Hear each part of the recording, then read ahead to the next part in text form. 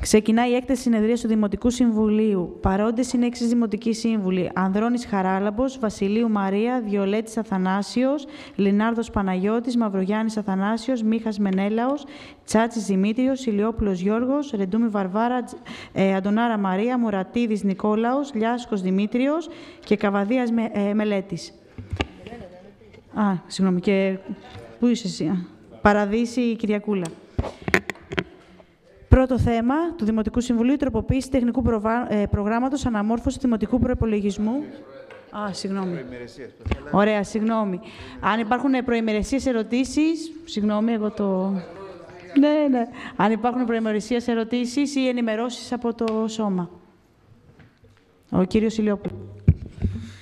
Ε, κυρία Πρόεδρε, εγώ θα ήθελα να ενημερωθώ, γιατί έλειπα σε δύο προηγούμενα, αν η συνάντηση της Επιτροπής που είχαμε στον Όμιλο Πετρολά ε, έχει γίνει σχετική μάλλον ενημέρωση στο σώμα, το τι υπόθηκε εκεί. Αν, κριθεί, αν κρίνεται σκόπιμο από τη Δημοτική Ομάδα να το φέρει σαν θέμα. Και δεύτερον, μια ερώτηση στον κύριο Δήμαρχο. Φεύγοντας από το τραπέζι, εκεί είχαμε δεσμευτεί ότι θα παραδίδαμε κάποιες μελέτες είχαμε μείνει ότι θα παραδίδαμε κάποιες μελέτες για το πώς θα διαχειριστούμε εν ευθέτω χρόνο αν μας δοθούν κάποια κομμάτια μέσα στην Μπρικάλ. Υπάρχει κάτι το οποίο κρίνεται σκόπιμο να ενημερωθεί και η αντιπολίτευση; Ευχαριστώ. Το λόγο έχει ο κύριος Δήμαρχος. Άλλος προημερεσίας, ο κύριος Καβαδίας. Ε, το θέμα το είχε, την ερώτηση την είχε ξανακάνει ο κύριος Μπέλτσιος πέρσι 35 του 17 στον κύριο Δήμαρχο ε, σχετικά με το φεστιβάλ ε, τέχνης και ευεξίας που έγινε στο Παλαιό Ελεουργείο και, την, ε, και το φορολογικό έλεγχο που υπέστη. Αν εμπλέκεται ο Δήμος ή νομικό πρόσωπο του Δήμου.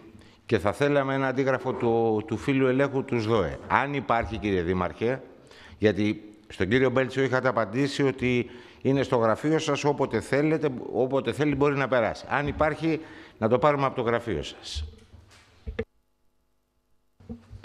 Ο κύριος Λιάσκος. Ευχαριστώ πολύ, κυρία Πρόεδρε. Τρία, τρεις προημερεσίας ήθελα να κάνω ερωτήσεις, κυρία Πρόεδρε. Πρώτον, είναι γνωστό ότι επίκειται αύξηση των αντικειμενικών αξιών, ε, ειδικά στη Δυτική Αττική. Επειδή θεωρώ ότι η Δήμη της Δυτικής Αττικής ε, είναι πολλαπλώς υποβαθμισμένη και περιβαλλοντικά και πλήττονται πολύ από σε θέματα ανεργίας, ήθελα να ρωτήσω αν, αν υπάρχει δυνατότητα ή αν, αν καλυπτόμαστε από τον νόμο όλη η Δήμη της Δυτικής Αττικής να ζητήσουμε από το Υπουργείο Οικονομικών ώστε να λάβει υπόψη ότι εμείς δεν πρέπει τουλάχιστον ως Δήμη ε, να έχουμε αύξηση των αντικειμενικών αξιών. Το δεύτερο, ε, σε, αυτό, σε συνέχεια σε αυτό που είπε και ο κύριος Ηλιόπουλος, θα θέλαμε μία ενημέρωση σχετικά με το τι υπόθηκε, τι αποφασίστηκε και τι πρόκειται να ακολουθήσει μετά τη συνάντηση της Επιτροπής ε, του Δημοτικού Συμβουλίου με εκπροσώπους του ΕΛΠΕ στα γραφεία των ε, ΕΛΠΕ. Ε, το τρίτο, ήθελα να ρωτήσω, είναι γνωστό ότι οχτώ Δημοτικοί Συμβουλοί έχουμε καταθέσει και έχουμε ενημερώσει και το κύριο Δήμαρχο και τη, και τη Πρόεδρο και το Δημοτικό Συμβούλιο. Εάν τελικά θα έρθει κάποια στιγμή να μας γίνει μια ενημέρωση εδώ από τα ΕΛΠΕ, από το ΟΣΕ, από το, από το ΓΕΟΣΕ, από τη ΓΕΟΣΕ σχετικά με το Μνημόνιο Συνεργασίας Κατενόησης που έχει υπογραφεί. Ευχαριστώ. Έχει κάποιος άλλος κάποια άλλη ερώτηση, κάποια απάντηση στα ερωτήματα; Ο κύριος Δήμαρχος. Εντάξει, τώρα θα μπορούσατε να κάνετε και εσείς, κύριε Λεοπλέ, μια ενημέρωση. Αυτό που έγινε, ετέθησαν τρία θέματα. Το πρώτο θέμα αφορούσε την απορρόφηση των εργαζομένων της Πυρκάλα από τα ΕΛΠΕ. Σε αυτό τα ΕΛΠΕ ήταν αρνητικά. Το δεύτερο αφορούσε την, ε, την αντίθεση του Δήμου στην κατεδάφιση, στην προσπάθεια να βγάλει άδειες κατεδάφισης, να βγάλουν άδειες κατεδάφισης τα ΕΛΠΕ ε, και μιας και υπήρχαν μια σειρά ιστορικά κτίρια, σε αυτό τα ΕΛΠΕ απάντησαν ότι δεν ήταν στην πρόθεσή μας. Απάντησαν με τον δικό τους τρόπο τέλος πάντων. Ε, εμείς αυτό που τους ζητήσαμε ήταν ότι θα ήταν σκόπιμο ε, και καλό για όλους να υπήρχε μια ενημέρωση έτσι ώστε να γνωρίζει το Δημοτικό Συμβούλιο και, και η πόλη τις προθέσεις που έχουν τα ΕΛΠΕ. Εμείς επιμείναμε ότι ε, μπορεί, ότι πρέπει και μπορούν να σωθούν πολλά από αυτά τα κτίρια και είχαμε πει ότι η, η πολιτιστική πρωτεύουσα, μια ομάδα παιδιών της πολιτιστικής πρωτεύουσας, ε, εργάζεται έτσι ώστε κάποια από τα, από τα κτίρια αυτά να μπορούν να πλαστούν και να, και να μπορούν να χρησιμοποιηθούν για διάφορες κτήσεις, ε, χρήσεις κυρίως ε, πολιτιστικές. Επίσης τους είπαμε, ε, αυτό ακόμα δεν έχει τελειώσει. Επίσης τους είπαμε για το θέμα της ζώνης Εβέζο και είπαν ότι αυτή είναι η πρόθεσή τους και, και θα τηρηθεί και η ευρωπαϊκή και η εθνική νομοθεσία.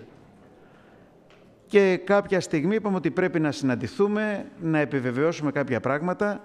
Σήμερα είχα μια συνάντηση με το σωματείο της Πυρκάλ.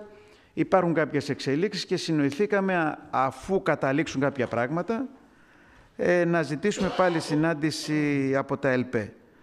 Τώρα, για τις αντικειμενικές αξίες δεν έχω άποψη να πω τι πρέπει να κάνουμε και τι δεν πρέπει. Ας πει ο κύριος Μαυρογιάννης. Ε, τώρα, για την ευεξία και θα, θα ενημερωθώ και θα σας πω τώρα το ότι είχα πριν ένα χρόνο τη, τη σύμβαση και τα λοιπά και το επαναφέρετε. Δεν έχω κάτι αυτή τη στιγμή, δεν έχω αυτή τη στιγμή κάτι στο γραφείο μου. Έτσι δεν είναι. Ε, για, το πόρημα, για το πόρημα του ΣΔΟΑΝ υπάρχει, είναι, θα είναι στη διάθεσή σας. Ε, και σχετικά για τους, υπήρχαν οκτώ δημοτικοί σύμβουλοι, οι οποίοι, οι οποίοι ε, είπαν να, να φέρουμε τη προσυζήτηση το θέμα αυτό. Το θέμα αυτό θα έρθει προσυζήτηση και θα έρθουν και σχεδιαγράμματα για το τι πρόκειται να γίνει. Και υπήρχαν και κάποιοι δημοτικοί σύμβουλοι που έλεγαν ότι πρέπει να σταματήσω να συναντιέμαι. Αυτό, αυτό δεν λέγατε, να, πρέπει να σταματήσω να συναντιέμαι με τον, με τον Υπουργό κτλ. Καταλαβαίνετε ότι αυτό εγώ δεν μπορώ να το κάνω. Ούτε προτίθεμαι να το κάνω, ούτε πρόκειται να το κάνω για έναν απλούστατο λόγο ότι ε, πιστεύω ότι είναι θετική η συνεισφορά του κάθε δημάρχου όταν προωθεί κάποια, κάποια πράγματα. Και θεωρώ, εγώ δεν το έκρινα αυτό το κείμενο, είναι... Ναι, δεν υπήρχε, υπήρχε ένα κείμενο το, το οποίο μου απαγόρευε εμένα να συναντηθώ, ε, ότι, γιατί δεν υπάρχει απόφαση του Δημοτικού Συμβούλου κτλ. Εντάξει, εντάξει, ωραία. Εγώ λοιπόν σας λέω επειδή επί της ουσίας αυτό, εγώ αν το κατάλαβα καλά, δεν το κατάλαβα, ζητώ συγγνώμη, δεν υπάρχει. Έχουμε αναζητήσει το τεχνικό πρόγραμμα και το συζητάμε σε μια άλλη. Εγώ, α, μπράβο. Όχι μόνο συναντιέμαι, ειδικά επειδή τώρα θα έρθουν και σχέδια και τα λοιπά γύρω από το... Είναι επιτακτική ανάγκη να συναντηθεί ο Δήμαρχος και με τη ΓΕΑ ΟΣΕ, όπως συναντήθηκε και πήραμε το κτίριο, και με το Ενεργοσέ και με τον ΟΣΕ. Δεν έχω κάτι άλλο να πω. Ο κύριος Μαυρογιάννης. Ναι, σχετικά με την ε, ερώτηση για, το, για τις αντικειμενικές αξίες, όπως έχουμε πληροφορηθεί, έχουν οριστεί από το Υπουργείο Οικονομικών ερωτικοί εκτιμητές για τον ε, επαναπροσδιορισμό των αντικειμενικών αξιών ε, σε όλη τη χώρα. Ε, πληροφορίες έχουμε, δημοσιεύματα έχουμε κι εμείς.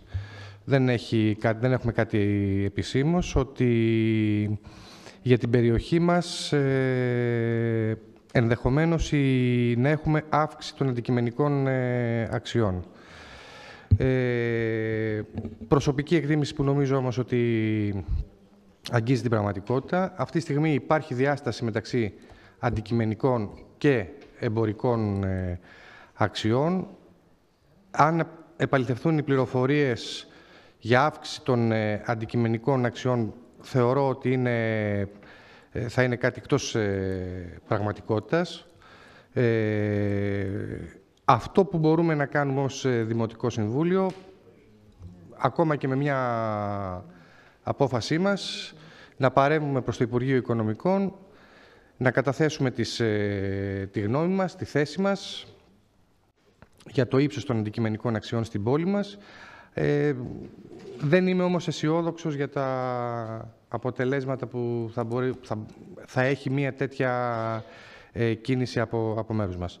Όμως, ε, κύριε Δήμαρχε, θα έλεγα σε επόμενο Δημοτικό Συμβούλιο, καλό θα ήταν να υπάρξει μια απόφαση Δημοτικού Συμβουλίου, να κοινοποιηθεί στο Υπουργείο Οικονομικών ότι θεωρούμε ε, λάθος την αύξηση των ε, αντικειμενικών αξιών στη, στην πόλη μας. Πριν συνεχίσουμε την ερώτηση, να πω, ότι οι παρόντες είναι ο κύριος Κοροπούλης Γρηγόρης, ο κύριος Καλογριδάκης Εμμανουήλ, η κυρία Μαρούγα Κωνσταντίνο και ο κύριος Τζαφέρης Κλέαρχος. Ε, μια ερώτηση ακόμα έχει ζητήσει ο κύριος Λιάσκος και μετά ο κύριος Ηλιόπουλος. Ε, κυρία Πρόεδρε, ευχαριστώ πολύ. Δεν είναι ερώτηση. Απλώς είναι μια διευκρίνηση. Το κείμενο που υπογράψανε 8 δημοτικοί σύμβουλοι δεν λέει να μην συναντιέται ο Δήμαρχος με κανέναν. Ο Δήμαρχος έχει δικαίωμα να συναντηθεί με οποιοδήποτε θέλει. Εμείς έχουμε, έχουμε πει και απευθυνόμαστε προς τον Υπουργό, τον κύριο Σπίρτζη, και ενημερώνουμε όλους ότι ουδέμια ε, απόφαση έχει πάρει το Δημοτικό Συμβούλιο και να μην χρησιμοποιεί ουδής, να μην χρησιμοποιεί ότι και να λέει ότι πήρε απόφαση το Δημοτικό Συμβούλιο προκειμένου να υπογράψει ο Δήμαρχος κάποιο μνημόνιο. Αυτό το ξεκαθαρίζουμε. Από εκεί πέρα, ο Δήμαρχος, αν θέλει να συναντιέται, συναντιέται, αλλά δεν εκπροσωπεί το Δημοτικό Συμβούλιο για να υπογράψει κάτι χωρίς την έγκριση του Δημοτικού Συμβουλίου. Κύριε Δήμαρχος. Αυτό ήταν σαφές και στον κύριο Σπίρτζη και στους υπηρεσιακούς παράγοντες που υπογράψαμε το μνημόνιο ότι δεν υπάρχει απόφαση του Δημοτικού Συμβουλίου, όπως και ότι θα συζητεί το θέμα στο Δημοτικό Συμβούλιο. Και έγινε και μια ολόκληρη συζήτηση τριών ωρών για να το επιβεβαιώσουμε. Δεν είναι. Συμφωνούμε σε αυτό. Κύριο Ηλιόπουλος. Εγώ, κυρία Πρόεδρε, αν μου δίνετε η δυνατότητα, θα ήθελα λίγο να διατυπώσω τη δική μου άποψη, γιατί έτυχε να, να είμαι και εγώ στην ε, συνάντηση με τα ΕΛΠΕ. Οπότε, κύριε Δήμαρχε, θα ήθελα λίγο... Ε, μας απάντησαν αρνητικά για την πρόσληψη των εργαζομένων. Ποιοι μας απάντησαν αρνητικά; Καταρχήν, καλό θα ήταν να ενημερώσουμε το σώμα με ποιους συναντηθήκαμε. Εκεί, λοιπόν, δυστυχώς, λοιπόν, κατ' εμέ, συναντηθήκαμε με τρεις υπηρεσιακούς παράγοντες. Ένα είχαν να ήταν ο υπεύθυνος της της ε, επικοινωνίας και με τον νομικό σύμβουλο και μου διαφεύγει η αρμοδιότητα του τρίτου. Άρα, επί της ουσίας, η συνάντηση δεν έγινε σε επιτελικό, με επιτελικά στελέχη. Έγινε με τρεις ανθρώπους λοιπόν, οι οποίοι επί της ουσίας ήρθαν να ακούσουν τις απόψεις και τις προτάσεις του Δήμου. Εγώ από το τραπέζι λοιπόν έφυγα και μάλλον ζήτησα να δεσμευτούν να βγει τουλάχιστον ένα δημοσίευμα επί των ερωτημάτων μας. Έχει προκύψει κάτι τέτοιο; Γιατί έρχεστε εσείς τώρα και μας λέτε ότι η απάντηση για τους εργαζόμενους ήταν αρνητική. Ήταν αρνητική, αυτό το, το εκλάβατε εκ της συζήτησης ή έχει προέλθει κάτι, γιατί εμάς μας αφήσανε ότι εμείς κύριοι είμαστε υπάλληλοι, θα ακούσουμε τι θα μας πείτε και θα το μεταφέρουμε στη διοίκηση. Αυτό. Άρα λοιπόν, επί της ουσίας, αν έχετε κάτι νεότερο όσον αφορά την απάντησή τους, θα το θέλαμε. Λοιπόν, και επειδή λοιπόν το επαναλάβατε συγκεκριμένα και στη συνάντηση, το επαναλαμβάνετε και σήμερα. Είναι αδιανόητο λοιπόν για ένα δήμαρχο να θεωρεί λοιπόν ότι κερδίζει κάτι αν λοιπόν η επιχείρηση θα κάνει χρήση της νομιμότητας. Σας το είπε και η ίδια η νομικός σύμβουλος που και εκπλαγήκατε εν μέρη ότι θα κάνουν χρήση της νομιμότητας. Το, το, το, λιγότερο που έχουν να κάνουν είναι να, να πάνε ό,τι λέει, ό,τι λέει η συνθήκη της Σεβέζο. Και μας το λέτε σήμερα εδώ στο Δημοτικό Συμβούλιο, λες και θα πετύχουμε κάτι τόσο πραγματικό την νομιμότητα και μόνο θα καλούνται οι άνθρωποι. Το θέμα είναι μπορούμε να πάρουμε κάτι παραπάνω. Θα προτείνω, πρότεινα λοιπόν μάλλον να γίνει μια ειδική συζήτηση επί του θέματος αυτού, γιατί θεωρώ ότι η πόλη έχει πολλά να κερδίσει από το, από, από το συγκεκριμένο κομμάτι. Θεωρώ ότι η συζήτηση πήγαμε, αναγκαστήκαν να μας ακούσουν. Θέλω, είναι μια συζήτηση η οποία θα πρέπει να ανοίξει σε διαφορετικό στάδιο. Εγώ εξέλαβα λοιπόν από αυτό το σημείο ότι ο συνομιλητής της Πετρόλα δεν ήταν του ειδικού βάρους που όφιλε να ήταν ο Δήμος Ελευσίνος. Επιτρέψτε μου να το καταγράψω στο Δημοτικό Συμβούλιο. Θεωρώ λοιπόν ότι ο Δήμος θα πρέπει να αποκτήσει ένα άλλο ειδικό βάρος και ένα άλλο πεδίο συζήτησης. Αν αυτή η συζήτηση την κάνετε off the record εκτός από την Επιτροπή, τότε πραγματικά ε, κρατάω τις επιφυλάξεις μου. Ευχαριστώ. Ο λόγο και ο κύριος Δήμαρχος. Εγώ θεωρώ σημαντικό και θετικό ότι συναντιόμαστε με τα ΕΛΠΕ. Σημαντικό και θετικό ότι συναντιόμαστε με όλες τις εταιρείες και όχι μόνο ο Δήμαρχος, αλλά μια, και το, σωμα, το Σωματείο και το Εργατικό Κέντρο, όπως επίσης και μια σειρά ε, άνθρωποι του Δημοτικού Συμβουλίου, εκλεγμένοι Δημοτικοί Σύμβουλοι. Τώρα, είναι σαφές ότι οι άνθρωποι αυτοί είναι στελέχοι πρώτης γραμμής των ΕΛΠΕ. Υπεύθυνοι των γραφείων τύπου, υπεύθυνοι των δημοσίων σχέσεων, ένα τέτοιο θέμα, δεν ένα τέτοιο θέμα αφορούσε το θέμα της πολιτικής των ΕΛΠΕ. Εκεί εκφράστηκαν διάφορες ε, θέσεις κτλ. κτλ. Τώρα, εγώ πιστεύω ότι πολλές φορές ε, και τα ΕΛΠΕ και άλλοι δεν τηρούν την νομιμότητα. Αυτή είναι η γνώμη μου. Και ότι σε μεγάλο βαθμό οι κινητοποιήσεις του κόσμου, ε, οι παρεμβάσεις που πρέπει να κάνει ο Δήμος, είναι ακριβώς για να τηρηθεί η νομιμότητα. Ε, ε, από αυτή την άποψη το ότι κάποιος σου λέει ότι ε, εσύ προσπαθείς να, να επικαλεστείς την νομιμότητα και μάλιστα την ευρωπαϊκή νομοθεσία είναι κατά τη γνώμη μου κάτι ιδιαίτερα σημαντικό ακριβώς γιατί η ευρωπαϊκή νομοθεσία η περιβαλλοντική είναι ό,τι πιο παγκόσμια προωθημένο υπάρχει. Τώρα, από εκεί και πέρα, εγώ εξέλαβα και αυτό είναι και δεν νομίζω ότι έχω ε, κάποια άλλη, ότι υπάρχει διαφορετική, ότι το θέμα της απορρόφησης των εργαζομένων, το θέμα της απορρόφησης των εργαζομένων στην, ε, ε, στα ΕΛΠΕ δεν το συζητάνε τα ΕΛΠΕ. Είναι άλλο ένας ευγενικός τρόπος να σου απορρίπτουν αυτή, αυτό σου το αίτημα και είναι και άλλο να νομίζω ότι υπάρχουν κάποια περιθώρια. Ε, δεν, δεν αμφιβάλλω ότι πρέπει, και αυτός ήταν και ο λόγος που είπαμε ότι δεν πρέπει να βγει ένα κοινό ανακοινωθέν, ακριβώς γιατί κατά τη γνώμη μου, εγώ το είπα και ήταν μπροστά και όλοι οι άλλοι, θα έκλεινε το θέμα των εργαζομένων. Τα ΕΛΠΕ είπαν ότι έχουμε συγκεκριμένους τρόπους με τους, για τους οποίους προσλαμβάνουμε, με τους οποίους προσλαμβάνουμε τους εργαζόμενους, ότι αυτοί οι άνθρωποι δουλεύουν στην Πυρκάλ, απασχολούνται από την Πυρκάλ και πληρώνονται από την Πυρκάλ. Άρα δεν μπορούν να έχουν μια διαφορετική μεταχείριση από ότι όλοι οι άλλοι εργαζόμενοι. Το είπανε με έναν σαφή ε, και ευγενικό τρόπο. Έτσι γίνονται οι συνομιλίες, κατά τη γνώμη μου. Τώρα, ε, δεν θέλω κάτι άλλο να πω. Εγώ σας λέω ότι με τις εταιρείες πρέπει να συζητάμε. Και, και μάλιστα νομίζω ότι όλοι ε, πρέπει να, όσοι, να είναι κοινός τόπος ότι σε κάθε περίπτωση η οποιαδήποτε εταιρεία θα πρέπει να ενημερώνει το Δημοτικό Συμβούλιο και την κοινωνία για τις προθέσεις της. Αυτό είπαμε. Ενημερωθήκαμε λοιπόν για τις προθέσεις των ΕΛΠΕ. Θα δούμε αν είναι αληθινές, αν είναι πραγματικές οι προθέσεις ή όχι. Γιατί κριτήριο των πάντων είναι η πράξη. Από εδώ και πέρα θα ξανασυναντηθούμε, επειδή όμως ένα θέμα βαρύνουσας αξίας. Υπάρχουν δύο θέματα που πρέπει να τα κλείσουμε τη συζήτηση με το, που είναι, με το, με το, με το Εργατικό Κέντρο και το Προεδρείο των 21 εργαζομένων της Πυρκάλ και να τελειώσουν και οι μελέτες από την πολιτιστική πρωτεύουσα, έτσι ώστε να πάμε με κάποια έτοιμα σχέδια. Εμερησίας, η κυρία Ντονάρα θέλει να ρωτήσει.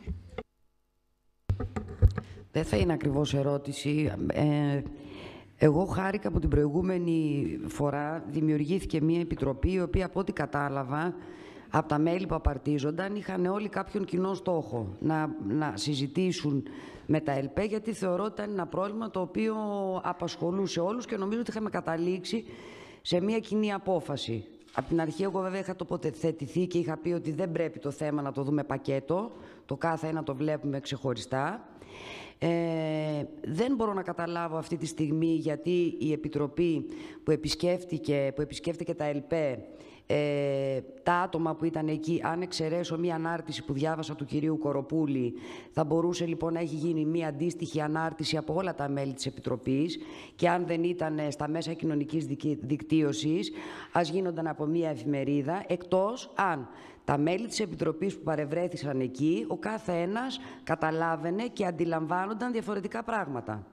Δηλαδή, Άλλος αντιλαμβάνονταν ότι οι εργαζόμενοι δεν θα μείνουν, δεν θα μπορέσουν να τους απορροφήσουν τα ΕΛΠΕ, γιατί οι εργαζόμενοι αυτή τη στιγμή είναι ήδη εργαζόμενοι, δεν είναι άνεργοι. Σε προηγούμενο λοιπόν Δημοτικό Συμβούλιο, όταν είχε γίνει παράδειγμα και μία πρόταση αυτοί οι εργαζόμενοι να απορροφηθούν εντός εισαγωγικών είτε στο ΚΔΑΙ του Δήμου, είτε να κάνουν μία παράδειγμα ΜΚΟ προκειμένου να απασχοληθούν, ήταν εκ των νου κάνευ, παντελώς άτοπο, γιατί δεν μιλάμε για ανέργους, οι άνθρωποι αυτή τη στιγμή είναι εργαζόμενοι. Ε, εγώ δεν θέλω να είμαι μάντης κακών. Απ' την αρχή όμως είχα προβλέψει και θεωρώ ότι έπρεπε να είμαστε ειλικρινείς και όταν είδαμε ότι ένα χρόνο μεσολαβεί το θέμα των εργαζομένων και τα ΕΛΠΕ δεν έδειξαν τη διάθεση που θα έπρεπε για να τους απορροφήσουν, είχα πει από την αρχή και στους ίδιους τους εργαζόμενους ότι προφανώς δεν θα τους απορροφήσουν με το καθεστώς που ήθελαν εκείνοι.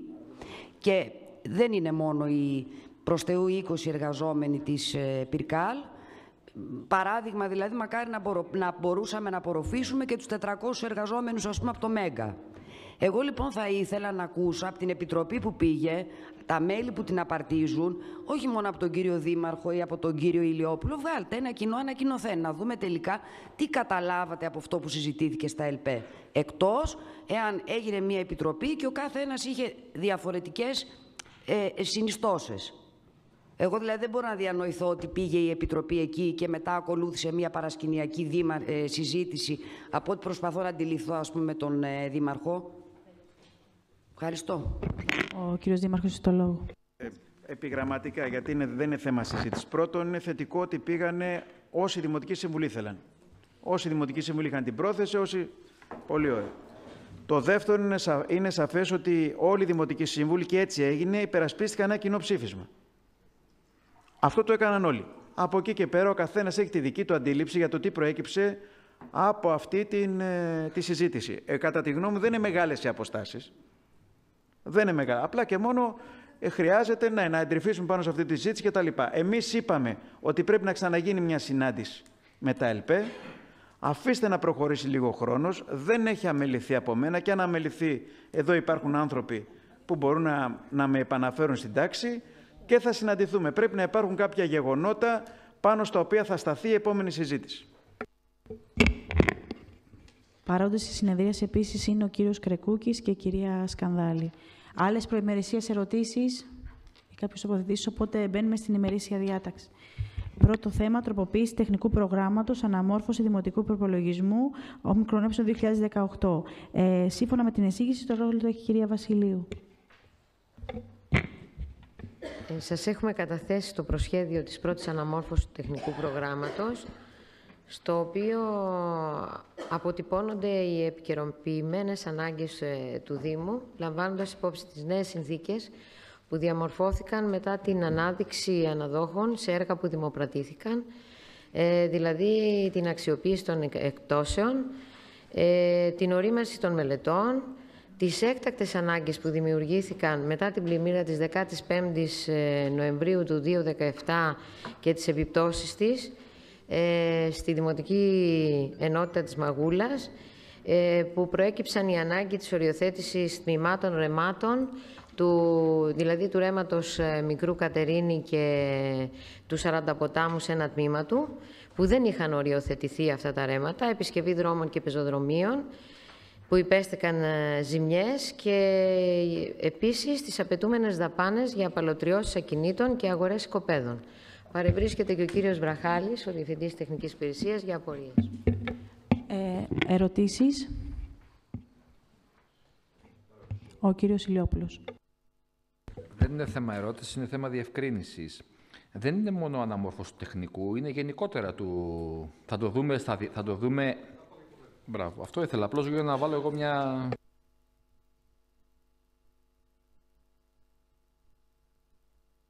Το λόγο ο κ. Μαυρογιάννης. Ναι, το θέμα είναι τροποποίηση τεχνικού προγράμματος και αναμόρφωση προπολογισμού. Είναι η πρώτη αναμόρφωση για το οικονομικό του 2018. Είναι υποχρεωτική η αναμόρφωση αυτή.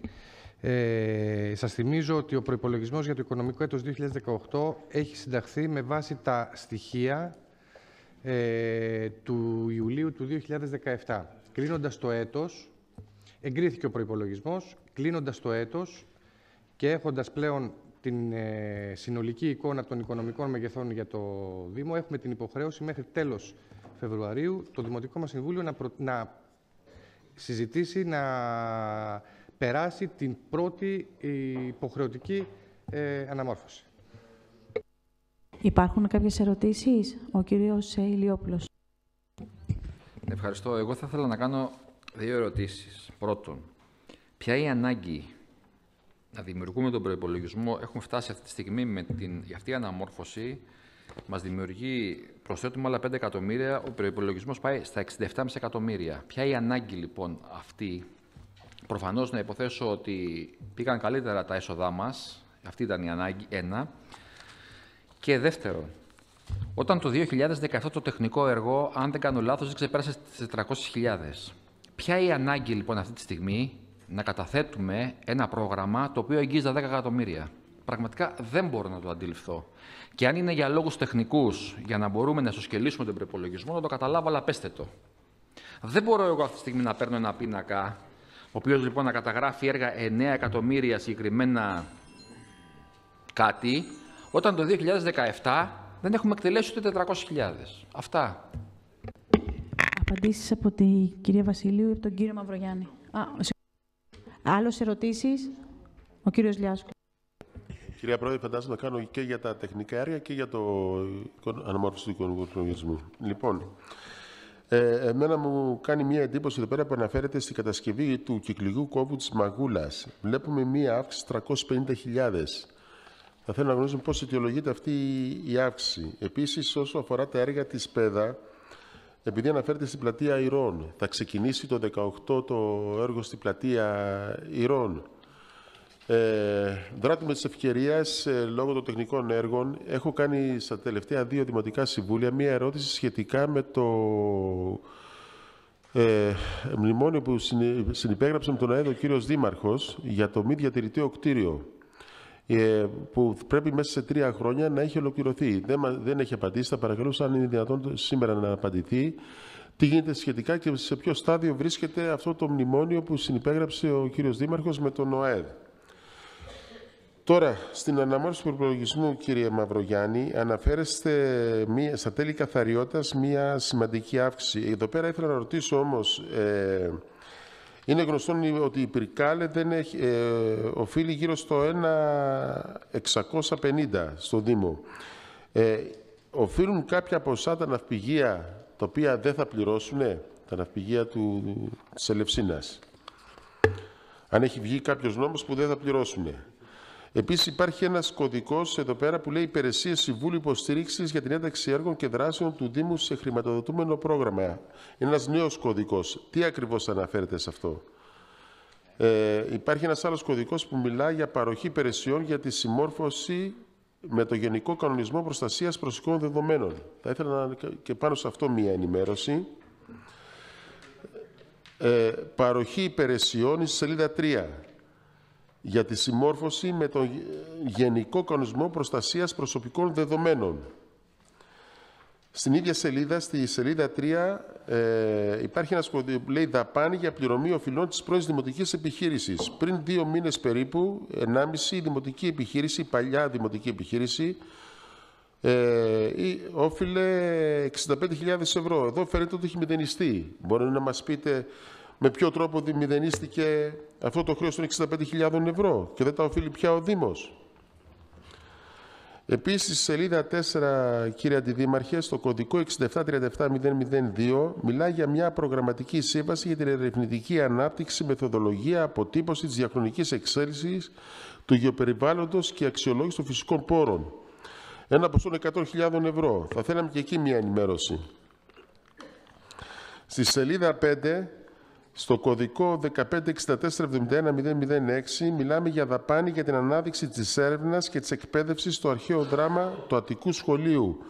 100.000 ευρώ ε, σύμφωνα με την από 27 12 του 17 απόφαση του Υπουργείου Πολιτισμού. Ήθελα να ρωτήσω για ποιο λόγο ε, αυτή τη δαπάνη θα την κάνει ο Δήμος και για ποιο λόγο το Υπουργείο Πολιτισμού δεν απευθύνθηκε απευθείας ε, στον φορέα που ε, εκτελεί το Αττικό Σχολείο ε, Αρχαίου Δράματος.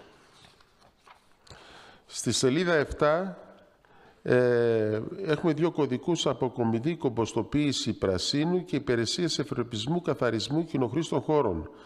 Αυτοί έχουν γίνει ένας κωδικός και για ποιο λόγο; Στη... Για να δούμε αν έχουμε και καμιά άλλη ερώτηση. Είναι πολλές. Αυτά. Άλλες ερωτήσεις, η κυρία Ντονάρα. Στον κωδικό 1562-32-00, ε, όχι συγγνώμη, ε, ο 1562-32-0012, μίσθωση ακινήτου για τις ανάγκες της Διεύθυνσης Κοινωνικής Προστασίας, Παιδείας και Πολιτισμού, αν αναζητούμε δηλαδή κάποιο οίκημα, και μίσθωση ακινήτου για πολιτιστικές εκδηλώσεις. Αυτούς τους δύο κωδικούς, τα άλλα με πρόλαβαν οι συνάδελφοι, οπότε... Άλλες ερωτήσεις; Οπότε, κυρία Βασιλείου, ξεκινάτε με τις απαντήσεις.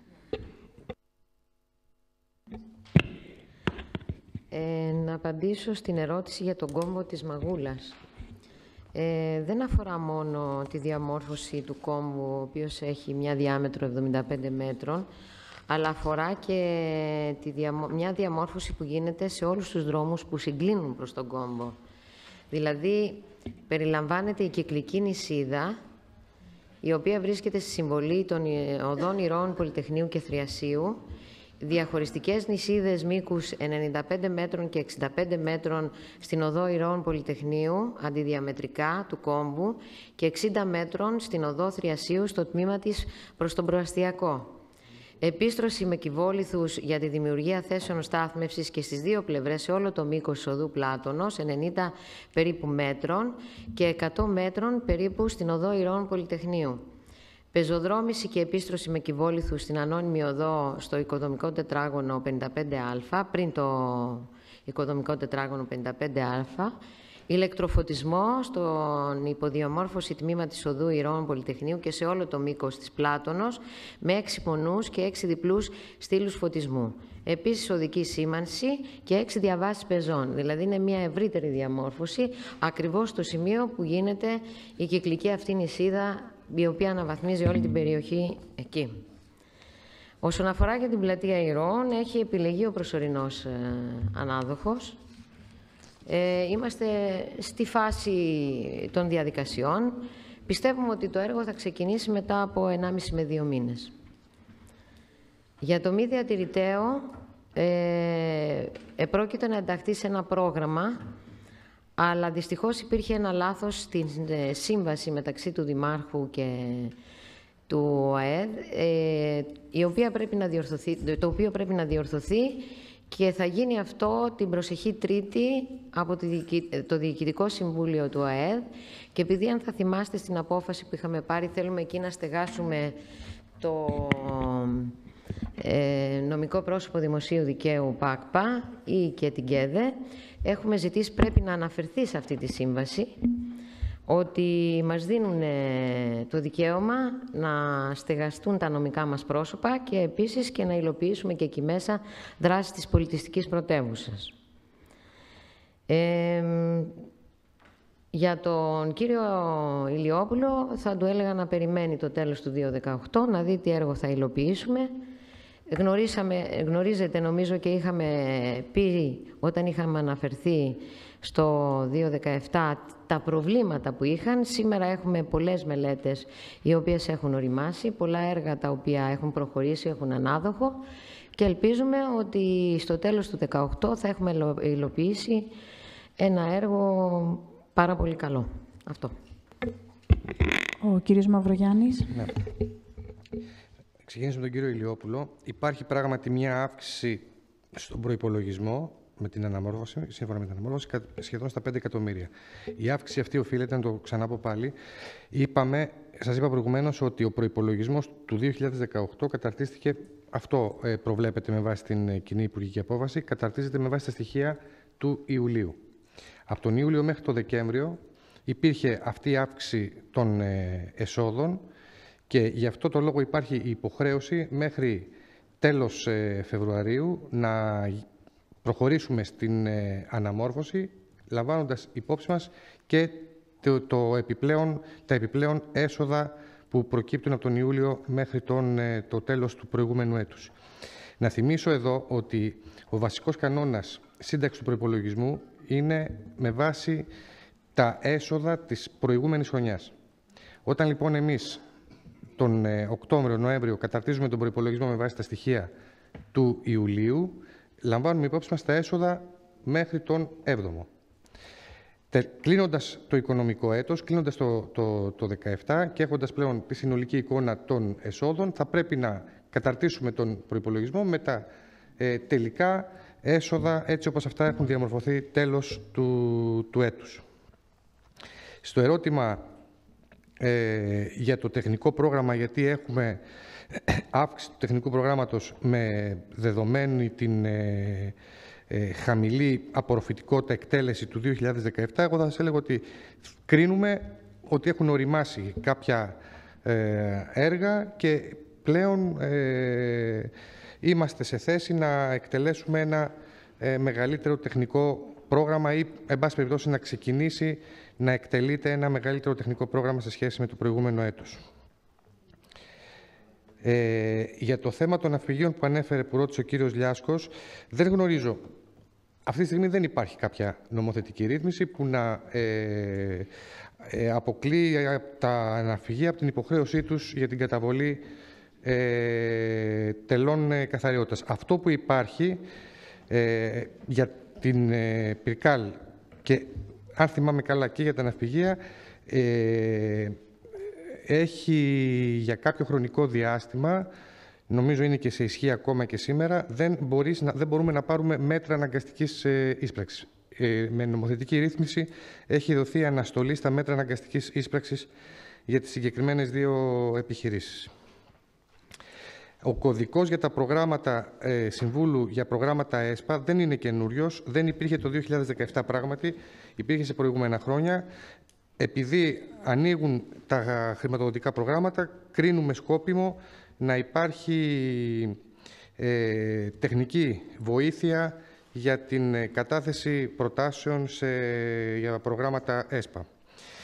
Ε, για τον κωδικό που αναφέρατε, που ρωτήσατε για τα προσωπικά δεδομένα, ε, από τέλος Μαΐου τίθεται σε εφαρμογή μια κοινοτική οδηγία που έχει να κάνει με την προστασία ε, των ε, προσωπικών δεδομένων. Αυτό ισχύει για όλο το δημόσιο. Ε, από όσο είμαι σε θέση να γνωρίζω, είναι ιδιαίτερα αυστηροί οι κανόνες και οι ποινές όταν υπάρχουν ε, ε, παρεκκλήσεις από το, συγκεκριμένο, κανονισμό είναι ιδιαίτερα ε, αυστηρές.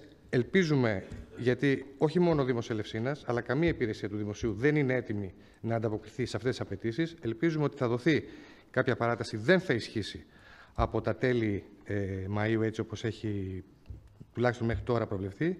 Σε κάθε περίπτωση όμως χρειάζεται μια προετοιμασία από την πλευρά του Δήμου για να μπορέσει να ανταποκριθεί είτε ε, δύσκολα το Μάιο, είτε αργότερα αν δοθεί παράταση, χρειάζεται μια προετοιμασία ε, εκπαίδευση του προσωπικού, συγκεκριμένες διαδικασίες, ε, καταγραφή της υπάρχουσας ε, κατάστασης, έτσι ώστε να μπορέσουμε να ανταποκριθούμε σε αυτήν την ε, αναγκαιότητα.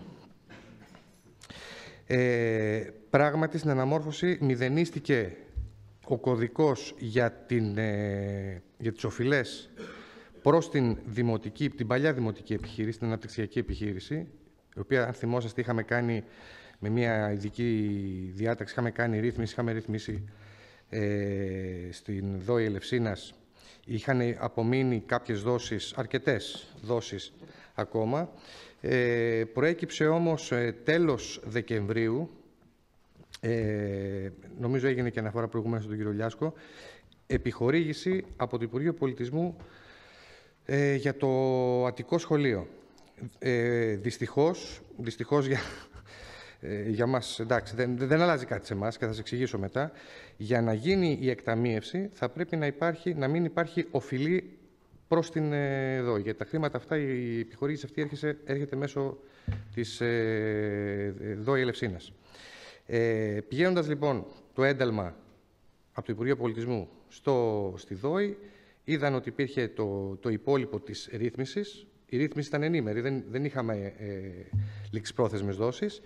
Ε, με βάση όμως τα, τα προβλεπόμενα έγινε η παρακράτηση του, του ποσού και αποδόθηκε το υπόλοιπο ε, στο Δήμο. Γι' αυτό το λόγο αυτή τη στιγμή δεν υπάρχει η οφειλή του Δήμου προς την, δημοτική, την παλιά δημοτική επιχείρηση. Ε, στο Ταμείο του Δήμου μπήκε το υπόλοιπο, η διαφορά μεταξύ επιχορήγησης των 100.000 και της, ε, το, το, του υπολείπου της ε, ρύθμισης και αυτό βέβαια εμείς έχουμε την υποχρέωση όταν θα προχωρήσουμε στην επιχορήγηση της, ε, του, του Αττικού Σχολείου να ε, καλύψουμε αυτή τη διαφορά που έχει δημιουργηθεί. Ε, αναφέρατε για μια προγραμματική... Να το ξαναπώ. Υπάρχει τα χρήματα, να, να, να, το ξαναπώ. Λοιπόν, τα χρήματα από, από οποιαδήποτε ε, κρατική επιχορήγηση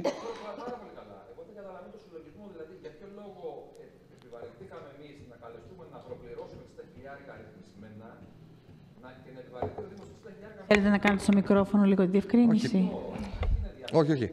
Λοιπόν, υπήρξε, υπήρξε, υπήρξε επιχορήγηση από το Υπουργείο Πολιτισμού. Η οποιαδήποτε επιχορήγηση για να εκταμιευθεί από τον, για να μπει στο ταμείο του, του Δήμου, επειδή έρχεται μέσω δημόσιου ταμείου, θα πρέπει ο Δήμος να μην έχει ούτε ληξιπρόθεσμες οφειλές προς τη ΔΟΗ, ούτε ρυθμισμένες ε, οφειλές. Ήρθε το ένταλμα του Υπουργείου Πολιτισμού. Στο, στη ΔΟΗ υπήρχε το, η διαφορά, οι 60.000, υπήρχε μια διαφορά, η, η ρύθμιση του Δήμου προς τη ΔΟΗ, επαναλαμβάνω, δεν ήταν ε, ληξιπρόθεσμη, ήταν ενήμερη, ήμασταν ενήμεροι στη ρύθμιση. Το Δημόσιο Ταμείο είχε υποχρέωση λοιπόν, όχι με λεφτά του Δήμου, συγκεκριμένη στιγμή, με τα λεφτά της επιχορήγησης του Υπουργείου Πολιτισμού, να καλύψει τη ρύθμιση και να αποδώσει στο Δήμο το υπόλοιπο. Όταν με το καλό θα έρθει η ώρα να εμείς να επιχορηγήσουμε, έτσι όπως αναφέρει τουλάχιστον η απόφαση του Υπουργείου Πολιτισμού, το, το Αττικό Σχολείο, θα πρέπει, όπως καταλαβαίνετε, να καλύψουμε αυτή τη διαφορά που έχει δημιουργηθεί. Για, το...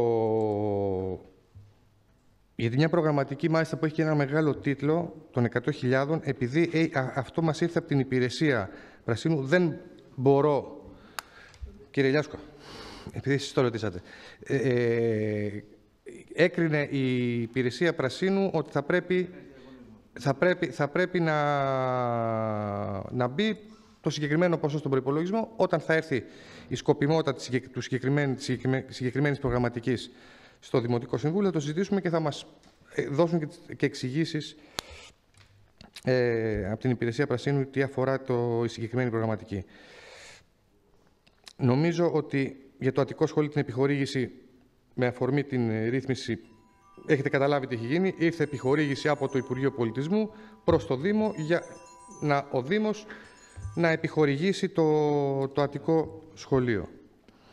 Ε, κομποστοποίηση, ευπρεπισμός πρασίνου όντως έχουν συγχωνευτεί σε έναν κωδικό και αυτό κρίθηκε σκόπιμο από την ε, υπηρεσία. Στην κυρία Αντωνάρα που για τη μίσθωση κινήτων, το ένα, το, η μίσθωση κινήτων για πολιτικούς σκοπούς αναφερόμαστε στο ε, ελεουργείο. Έτσι, είναι η μίσθωση για το, για το ελεουργείο που έχουμε πει. Έχει γίνει και, και, και διακήρυξη, βγήκε και άγωνος μάλιστα ο πρώτος διαγωνισμός. Και η μίσθωση που, για τη διεύθυνση κοινωνικής προστασίας είναι ποσό που δεν έχει προβληθεί στον αρχικό προπολογισμό, είναι πάνω για την, ε, για την πρόνοια. Όχι. Είναι μόνο για την πρόνοια. Το άλλο είναι πολεοδομία, ο άλλος όροφος. Όχι, μπορεί να προκύψει, μπορεί να προκύψει εμείς βάζουμε το, το ποσό, μπορεί να προκύψει κι άλλος ε, διοκτήτης. Ναι, ναι, μπορεί να προκύψει κι άλλος διοκτήτης. Άλλη Υπάρχουν κάποιες ερωτήσεις που δεν απαντήθηκαν; Ναι, κύριε Αντωνά. Ερώτηση, επειδή είχε έρθει και σε προηγούμενο Δημοτικό Συμβούλιο, δεν θυμάμαι για τώρα περίπου το χρονικό διάστημα, δεν μπορώ να καταλάβω το εξής. Το οίκημα αυτό έχει έναν ιδιοκτήτη, δύο, γιατί ουσιαστικά είναι ένα οίκημα στο οποίο από όσο γνωρίζω στεγάζονται τρεις ή τρεις ή δύο υπηρεσίες. Το πληρώνουμε λοιπόν συνολικά σαν μίστομα στον ιδιοκτήτη τον καινούριο πλέον ή αναόροφο. Κύριος Μαυρογιάννης. Εκεί στεγάζονται, στο συγκεκριμένο οίκημα στεγάζονται δύο υπηρεσίες είναι δύο οι μισθώσεις, είναι δύο ξεχωριστές μισθώσεις. Τυχαίνει ο ιδιοκτήτης να είναι ο ίδιος. Οι μισθώσεις όμως είναι δύο. Η μίσθωση της πολυδομία είναι σε, σε ισχύ και ε, νομίζω έχει, είναι σχετικά πρόσφατη. Η μίσθωση για την ε, πρόνοια θα πρέπει να γίνει διακήρυξη, να γίνει διαγωνισμός. Μπορεί να μας προκύψει άλλο, άλλη μίσθωση, άλλο κτίριο. Δεν είναι και καλά το συγκεκριμένο κτίριο. Υπάρχουν άλλες ερωτήσεις; Ο κύριος Ηλιόπουλος. Κάνει λίγο την ερώτηση ο κύριος Ηλιόπουλος και μετά να επανέλθω. Για να μπορέσουμε να βγάλουμε κάποια συμπεράσματα, μπορεί να ενημερώσετε το σώμα τι, τι εστί Αττικό Σχολείο, πού ανήκει αυτό το πράγμα, για να μπορέσουμε λοιπόν να δούμε για ποιο λόγο λοιπόν έγινε ο ενδιάμεσος ο Δήμος. Δεν, δεν μπορώ να, να να καταλάβω κάποια πράγματα. Μπορούμε να μου δώσετε λίγο τι, τι, τι εστί Αττικό, σχολείο; Ο κύριος ε, Μαυρογιάννης. Λοιπόν, ε, εγώ να σα πω την αλήθεια, δεν τα πάω πολύ καλά με τα καλλιτεχνικά. Δεν γνωρίζω ακριβώς τι είναι το, το, το Αττικό Σχολείο. Ξέρω ότι κάνει τα τελευταία χρόνια κάποιες δράσεις κάτω στο ελεουργείο στον χώρο των Εσχυλίων. Εγώ αυτό που ξέρω και είχα την υποχρέωση να το ε, εντάξω στον προπολογισμό είναι μία απόφαση 27 Δεκεμβρίου του 2017 Παρεμπιπτόντως και εμείς αυτή την συγκεκριμένη απόφαση, εγώ προσωπικά τηλεφωνικά την έμαθα από το Υπουργείο Πολιτισμού εκείνη την ημέρα. Ήταν η πρώτη τελευταία μέρα του, του χρόνου και γινόταν ένας πανικός και στο Υπουργείο Πολιτισμού και εδώ στις υπηρεσίες για να δούμε πώς θα γίνει η απορρόφηση των χρημάτων. Υπάρχει λοιπόν μια απόφαση με ημερομηνία 27 Δεκεμβρίου του 2017. Ε, Έχοντας υπόψη κτλ, κτλ., αποφασίζουμε. Α. Την επιχορήγηση του Δήμου Ελευσίνας με το ποσό των 100.000 ευρώ και αφορά στην ενίσχυση του Αττικού Σχολείου με σκοπό την ανάδειξη της έρευνας και την εκπαίδευση στο αρχαίο δράμα. Β. Η ανωτέρω δαπάνη θα βαρύνει τις πιστώσεις του τακτικού προπολογισμού του Υπουργείου Πολιτισμού έτους 2017 με φορέα 21 110 και ΚΑΕ 25-29. Γ. Για ποσά επιχορηγήσεων άνω των 2.000 κτλ. Δεν έχει, δεν, δεν έχει νόημα το γ ε, η Υπουργός Ελιδία Κονιόρου. Εγώ, από τη στιγμή που έχω αυτή την απόφαση, μου κοινοποιείται αυτή η απόφαση, έχω την υποχρέωση αυτό να το εντάξω στον ε, προπολογισμό. Δεν θα το δείτε ως έσοδο στον προπολογισμό, γιατί υπάρχει στο Ταμείο. Δεν είναι έσοδο το οποίο περιμένω να μου έρθει το 17, το, το 18 το προπολογίζω. Είναι στο Ταμείο του, του Δήμου και εγώ θα πρέπει με βάση την απόφαση να πάω να βάλω την δαπάνη. Να το, βάλω, να το καταχωρήσω σαν, σαν έξοδο. Ε, ναι, Υπά... Αυτό εγώ, θέλω, εγώ περιορίζομαι στο οικονομικό κομμάτι, γιατί θα νομίζω... Τάκη, κύριε Τζαφέρη, ένα λεπτάκι. Θέλετε να κάνετε την ερώτηση ναι, για να μπορούμε να απαντήσουμε. Ξέρω, επειδή τα, τη δημοτική επιχείρηση... Εγώ το οικονομικό περιορίζομαι στο οικονομικό κομμάτι να σας εξηγήσω πώς έχει γίνει. Ναι, ναι, κύριε Λιάσκο. Ευχαριστώ, κύριε Πρόεδρε. Καταρχάς, ήθελα να ρωτήσω, το ΠΑΚΠΑ σαν νομικό πρόσωπο και η ΚΕΔΕ σαν νομικό πρόσωπο του Δήμου και ο Δήμος σαν νομικό πρόσωπο τα τελευταία τέσσερα χρόνια έχουν πάρει κάποια επιχορήγηση από το Υπουργείο Πολιτισμού. Και η δεύτερη ερώτηση ε, είναι το Αττικό Σχολείο υφίσταται ως φορέας; Ευχαριστώ. Κυρία Μαρούγκα. Λοιπόν, ε, όσον αφορά το ΠΑΚΠΑ, δεν γνωρίζω να σας πω αν έχει πάρει επιχορήγηση. Ε, ε, γνωρίζω ότι η διαδικασία της ε, χορηγίας των ΕΛΠΕ τα προηγούμενα χρόνια, όταν παίρναμε χορηγία για το φεστιβάλ Εσχίλια, περνούσε μέσα από το Υπουργείο Πολιτισμού και έρχονταν στο Ταμείο της Κοινοφελούς Επιχείρησης. Ε, θα σας δώσω στοιχεία και αύριο το πρωί, αν θέλετε, για το πότε και μέχρι πότε γινόταν με αυτόν τον τρόπο αυτή η διαδικασία. Ε, τουλάχιστον τα τελευταία δύο χρόνια, που ε, δεν έχει έρθει επιχορήγηση από τα ΕΛΠΕ προς την ε, δημοτική επιχείρηση, με μια, την, την πρώτη χρονιά γνωρίζετε με την ε, αφορμή του κινηματογράφου και πέρσι με την αφορμή της πολιτιστικής. Η κοινοφελή επιχείρηση δεν έχει πάρει ε, επιχορήγηση από τα ΕΛΠΕ με τη διαδικασία της διαδρομής να πάει στο Υπουργείο Πολιτισμού, τόσο ώστε να έρθει να μπει στην χρηματοδότηση της ΚΕΔΕ για αυτό το σκοπό. Ε, δεν, έχουμε, δεν μπορώ να σας πω κάτι άλλο όσον αφορά ε, αν υπάρχει κάποια άλλη χρηματοδότηση. Η μοναδική χρηματοδότηση από το Υπουργείο Πολιτισμού που γνωρίζω τουλάχιστον εγώ αυτά τα χρόνια που είμαι στην δημοτική επιχείρηση είναι αυτή. Λοιπόν, το Αττικό Σχολείο Αρχαίου Δράματος ε, ε, είναι φορέας, είναι επίσημος φορέας με καταστατικό. Ε, ο διαχειριστής, ο άνθρωπος που γνωρίζουμε ε, εμείς σαν συνεργάτη πρώτο είναι η Μάρθη Φριτζίλα. Το συγκεκριμένο σχολείο αρχαίου δράματος ε, συμμετέχει στο Διεθνές Δίκτυο Αρχαίου Δράματος μαζί με το Φεστιβάλ Αθηνών, το Εθνικό Θέατρο, το Κρατικό Θέατρο Βορείου Ελλάδος και το Αττικό Σχολείο ε, είναι ο δρόμος με τα δέντρα, Bomstrasse, ακριβώς όπως λέγεται και η εταιρεία που διαχειρίζεται όλο αυτό το κομμάτι. Ε, η επιχορήγηση έγινε από το Υπουργείο Πολιτισμού για το Αττικό Σχολείο μέσα από αυτήν την διαδρομή χρηματοδότησης επειδή ε, το Αττικό Σχολείο τα τελευταία πέντε χρόνια συνεργάζεται ε, και με το Φεστιβάλ Αθηνών και με το Φεστιβάλ Εσχυλίων ε, και δημιουργεί παραστάσεις ή ε, λειτουργεί το σχολείο που γνωρίζετε ότι γίνεται το πρώτο δεκαήμερο του Ιουλίου στο Δήμο μας. Μέχρι πρώτη γινόταν στο Ελαιοργείο. Φέτος με τις διαφορές που είχαμε για τον χώρο έγινε στις παλαιές αποθήκες της Ελαιοργικής.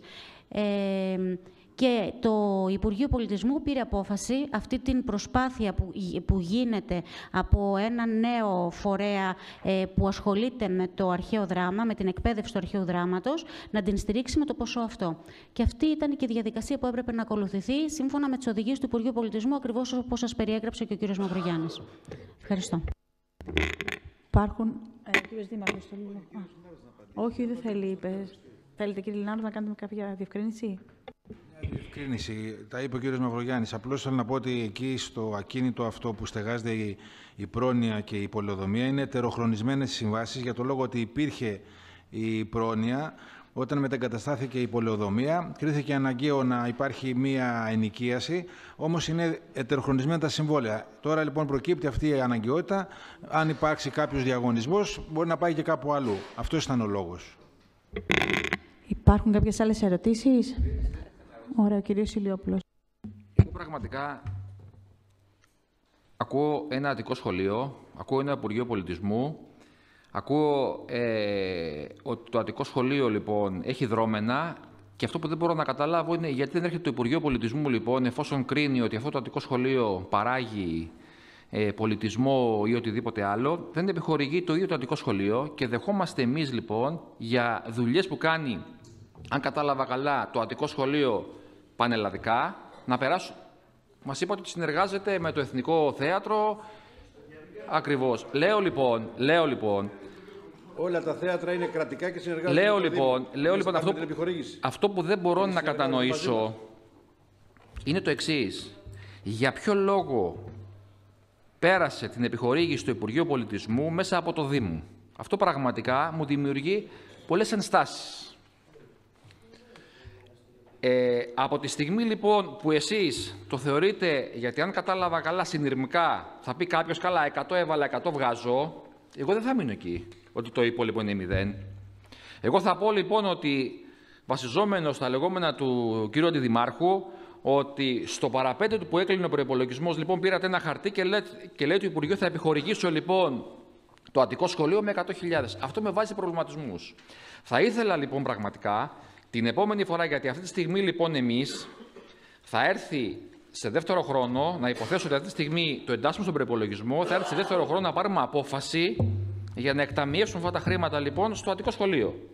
Θα ήθελα λοιπόν και θέλω να προλάβω λίγο τις καταστάσεις. Εγώ για να μπορέσω να ψηφίσω σε επόμενο, θέλω να δω το καταστατικό που έχει το Αττικό Σχολείο, πού εδρεύει, υπό ποιες συνθήκες, για να μπορέσω λοιπόν να αξιολογήσω κάποια πράγματα. Δεν μπαίνω στη διαδικασία να πω 100 πήρα 100 έβγαλα, να το ξεκαθαρίζω αυτό το πράγμα. Θέλω να ξέρω πού θα πάνε αυτά τα 100 χιλιάρικα και ποιος είναι αυτός ο υπουργός ο οποίος θεωρεί, γιατί εγώ έτσι το εκλαμβάνω, θεωρεί το Δήμο Ελευσής σε ένα κουβά, τον οποίο μπορεί να περάσει με 100 χιλιάρικα. Το λέω ξεκάθαρα. Ευχαριστώ. Υπάρχει άλλη διευκρίνηση, η κυρία Ντονάρα; Θεωρώ, δεν ξέρω βέβαια τον, ε, τον τρόπο που το Υπουργείο αποφάσισε ότι θα πρέπει να επιχορηγηθεί το Αττικό Σχολείο Αρχαίου Δράματος και επειδή το παρακολουθώ από την πρώτη μέρα που συστάθηκε και λειτουργεί κάτω στο Παλαιό Ελεουργείο, θεωρώ και θα ήθελα απλά να ρωτήσω εάν οι μαθητές που παρακολουθούν ε, τα μαθήματα, συγκεκριμένα 70 ώρες μαθημάτων, ε, αν θυμάμαι καλά, πριν δύο-τρία χρόνια η συμμετοχή ήταν 300 ευρώ. Θέλω να μάθω αν αυτοί που παρακολουθούν τα μαθήματα αυτά είναι δωρεάν, από τη στιγμή που τους διατίθεται και ένας χώρος δωρεάν, ή είναι επιπληρωμή. Κάποια άλλη ερώτηση για να δίνω συλλογικές απαντήσεις, ο κύριος Λιάζου. Ε, στην απόφαση του Υπουργείου Πολιτισμού Πέρα από το Α που λέει ότι επιχορηγεί το Δήμο Ελευσίνας 100.000 για το Αττικό Σχολείο, καταρχάς δεν ξέρω αν είναι το Αττικό Σχολείο ή αν είναι το Μπαουμστράσε, το δρόμος με τα δέντρα. Και το Αττικό Σχολείο είναι μία δράση. Δεν ξέρω αν είναι το ίδιο, θα το δούμε αυτό ακριβώς ή αν είναι δράση, επειδή μιλάμε για Αττικό Σχολείο.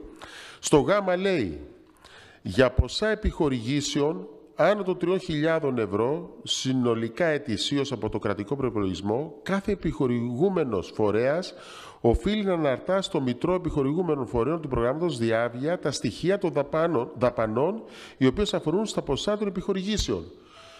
Εφόσον επιχορηγείται ο Δήμος, και γι' αυτό ρώτησα τι φορέας είναι το Αττικό Σχολείο, ποιος θα αναρτά τα έξοδα, τα λοιπά, τα ποσά αυτά; Και συγχρόνως, κυρία Μαρούγκα, προηγουμένως είπατε, όταν ρώτησα αν έχει, αν έχει επιχορηγηθεί από το Υπουργείο Πολιτισμού το ΠΑΚΠΑ ως νομικό πρόσωπο, που θεωρώ ότι δεν έχει επιχορηγηθεί, ο Δήμος ως νομικό πρόσωπο που θεωρώ ότι δεν έχει επιχορηγηθεί, ρώτησα αν έχει επιχορηγηθεί η ΚΕΔΕ ως νομικό πρόσωπο και μου λέτε τα ΕΛΠΕ. Δεν μιλάω αν έχει πάρει χορηγία από τα ΕΛΠΕ. Από το Υπουργείο Πολιτισμού η ΚΕΔΕ έχει πάρει κάποιο είδους χορηγία. Όχι από τα ΕΛΠΕ. Από το Υπουργείο. Γιατί το λέω αυτό, Διότι στη διάβια κοιτάζοντας πάνω, βλέπω πολλούς Δήμους στη χώρα μας και πολλά νομικά πρόσωπα έχουν επιχορηγηθεί απευθείας από το Υπουργείο Πολιτισμού. Όχι να, χορηγεί, να επιχορηγήσουν το Δήμο για να δώσει ο Δήμος κάπου αλλού τα λεφτά και τα λοιπά, να λειτουργήσει ο Δήμος ως delivery. Απλώς ρωτάω, έχει πάρει ο Δήμος ως νομικό πρόσωπο ή το ΠΑΚΠΑ ή ΚΕΔΕ κάποια χρήματα του Υπουργείου Πολιτισμού; Ευχαριστώ. Ο κύριος Λινάρδος.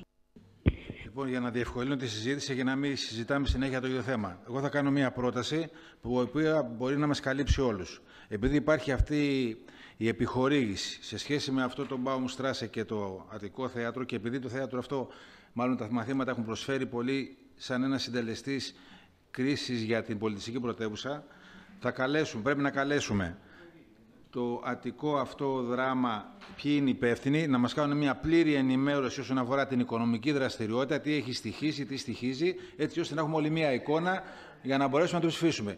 Και θα μπει και το θέμα και πόσοι με αυτέ εκπαιδεύτηκαν και τι έξοδα είχε και έτσι θα διαλευκανθεί η υπόθεση να μην έχουμε όλοι το κεφάλι μας ήσυχο. Αυτή την πρόταση κάνω και επειδή και έχουμε και καλή σχέση με την διευθύνουσα αυτό το, την δραστηριότητα, θα έρθει εδώ να μας ενημερώσει πλήρως, να ψηφίσουμε όλοι με ελαφρά την καρδία και με συνείδηση το τι έχει γίνει εκεί και τι μπορεί να προχωρήσει.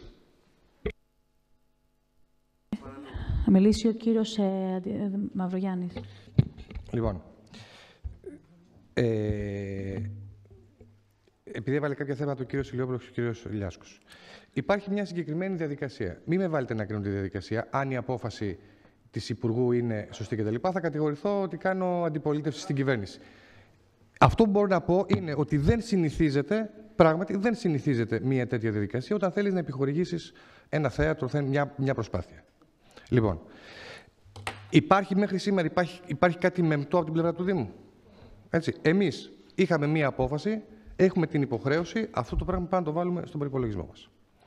Το, το συγκεκριμένο ποσό. Επειδή είπατε ότι θέλουμε με διευκρινήσεις τι που θα πάνε τα λεφτά κτλ. Να θυμίσω ότι οποιαδήποτε δαπάνη πλέον η σκοπιμότητά της περνάει από το Δημοτικό Συμβούλιο. Ακόμα και οι επιχορηγήσεις, δαπάνες που αφορούν τις επιχορηγήσεις, θα περάσει από εδώ. Α μείνουμε σε αυτή τη φάση ότι εμείς, μιας και συζητάμε το, το, την αναμόρφωση του προπολογισμού και το τεχνικό πρόγραμμα, ας μείνουμε ότι είχαμε την υποχρέωση, συμφωνούμε νομίζω σε αυτό όλοι μας, είχαμε την υποχρέωση να περάσουμε το συγκεκριμένο, την, ε, τη συγκεκριμένη επιχορήγηση, να την περάσουμε στον ε, προπολογισμό μας και θα δούμε ποια θα είναι η εξέλιξη. Ο κύριος Δήμαρχος έχει ζητήσει το λόγο.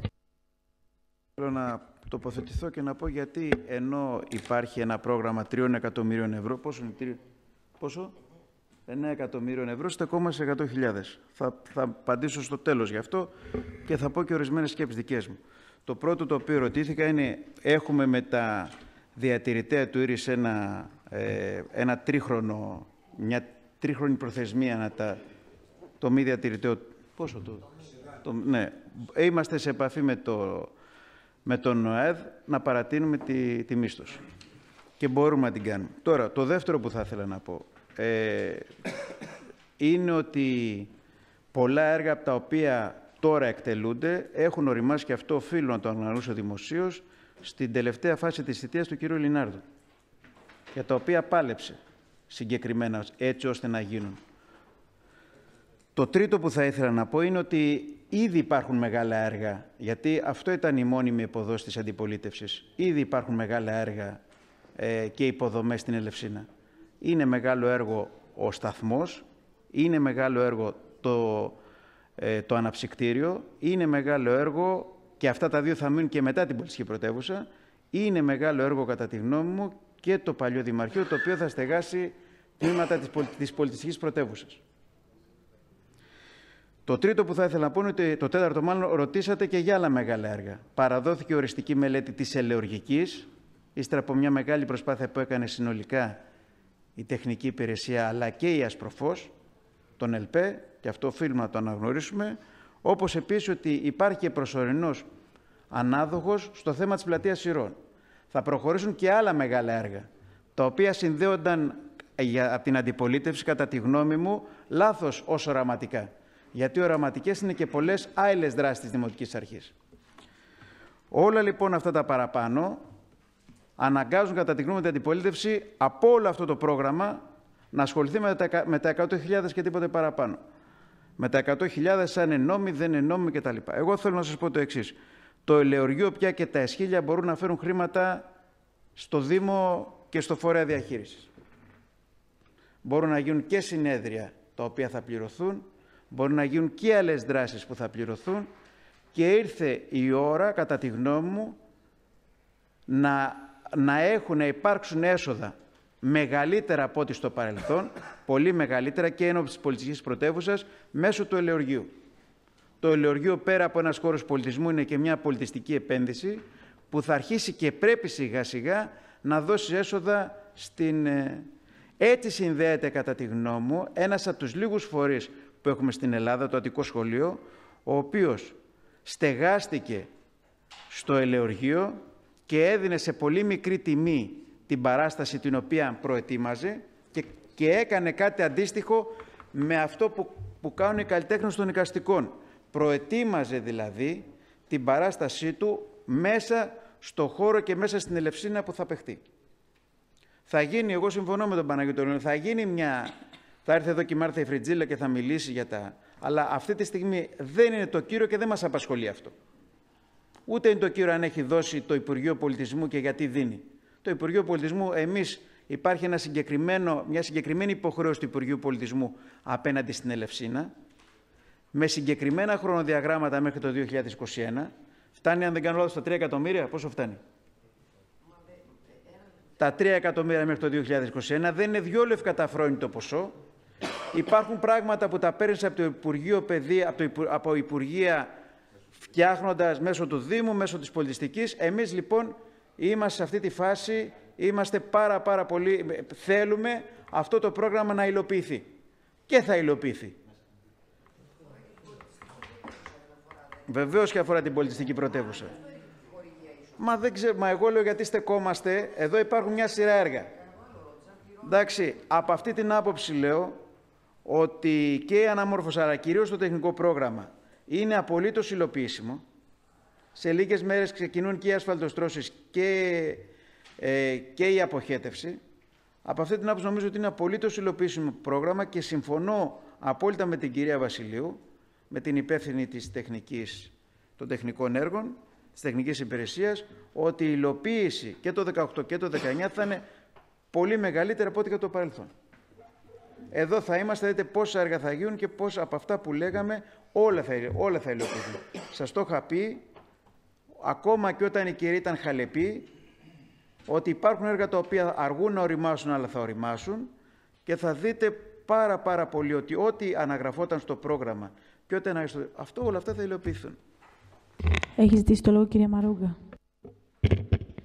Να συμπληρώσω και να διευκρινίσω και σε αυτά που είπε ο Δήμαρχος όσον αφορά το Αττικό Σχολείο και απαντά και στην ερώτηση που είχε κάνει η κυρία Ντονάρα πριν, ότι για το δεκαήμερο που γίνεται το Αττικό Σχολείο φιλοξενείται μέσα στο πλαίσιο του Φεστιβάλ Εσχήλια ε, τον Ιούλιο. Ε, το Αττικό Σχολείο έχει, πληρώνει τις δαπάνες του. Δηλαδή, όσον αφορά τη διατροφή τη ή τη μεταφορά των μαθητών, ό,τι έχει να κάνει με τη λειτουργία του, δεν έχει καμία ε, συμμετοχή ο Δήμος. Εμείς φιλοξενούμε στο χώρο και βοηθάμε να υπάρχουν οι συνθήκες για να μπορεί να λειτουργήσει αυτό, που και αυτό ε, νομίζω ότι εντάξει, δεν είναι κάτι το οποίο μπορούμε να το κοστολογήσουμε. Οι μαθητές ε, δεν θέλω, να, δεν θέλω να πω εγώ κάτι όσον αφορά τους μαθητές, γιατί δεν το έχω διαχειριστεί η ίδια ως ε, φορέας για το αν πληρώνει ή όχι. Ξέρω όμως ότι κάνουν και πολλά παραπάνω, γιατί έχω ζήσει το Αττικό Σχολείο, από αν θα πληρώναν π.χ. μια συμμετοχή. Είναι πολλά τα πράγματα που δίνουν και παίρνουν αυτά τα παιδιά.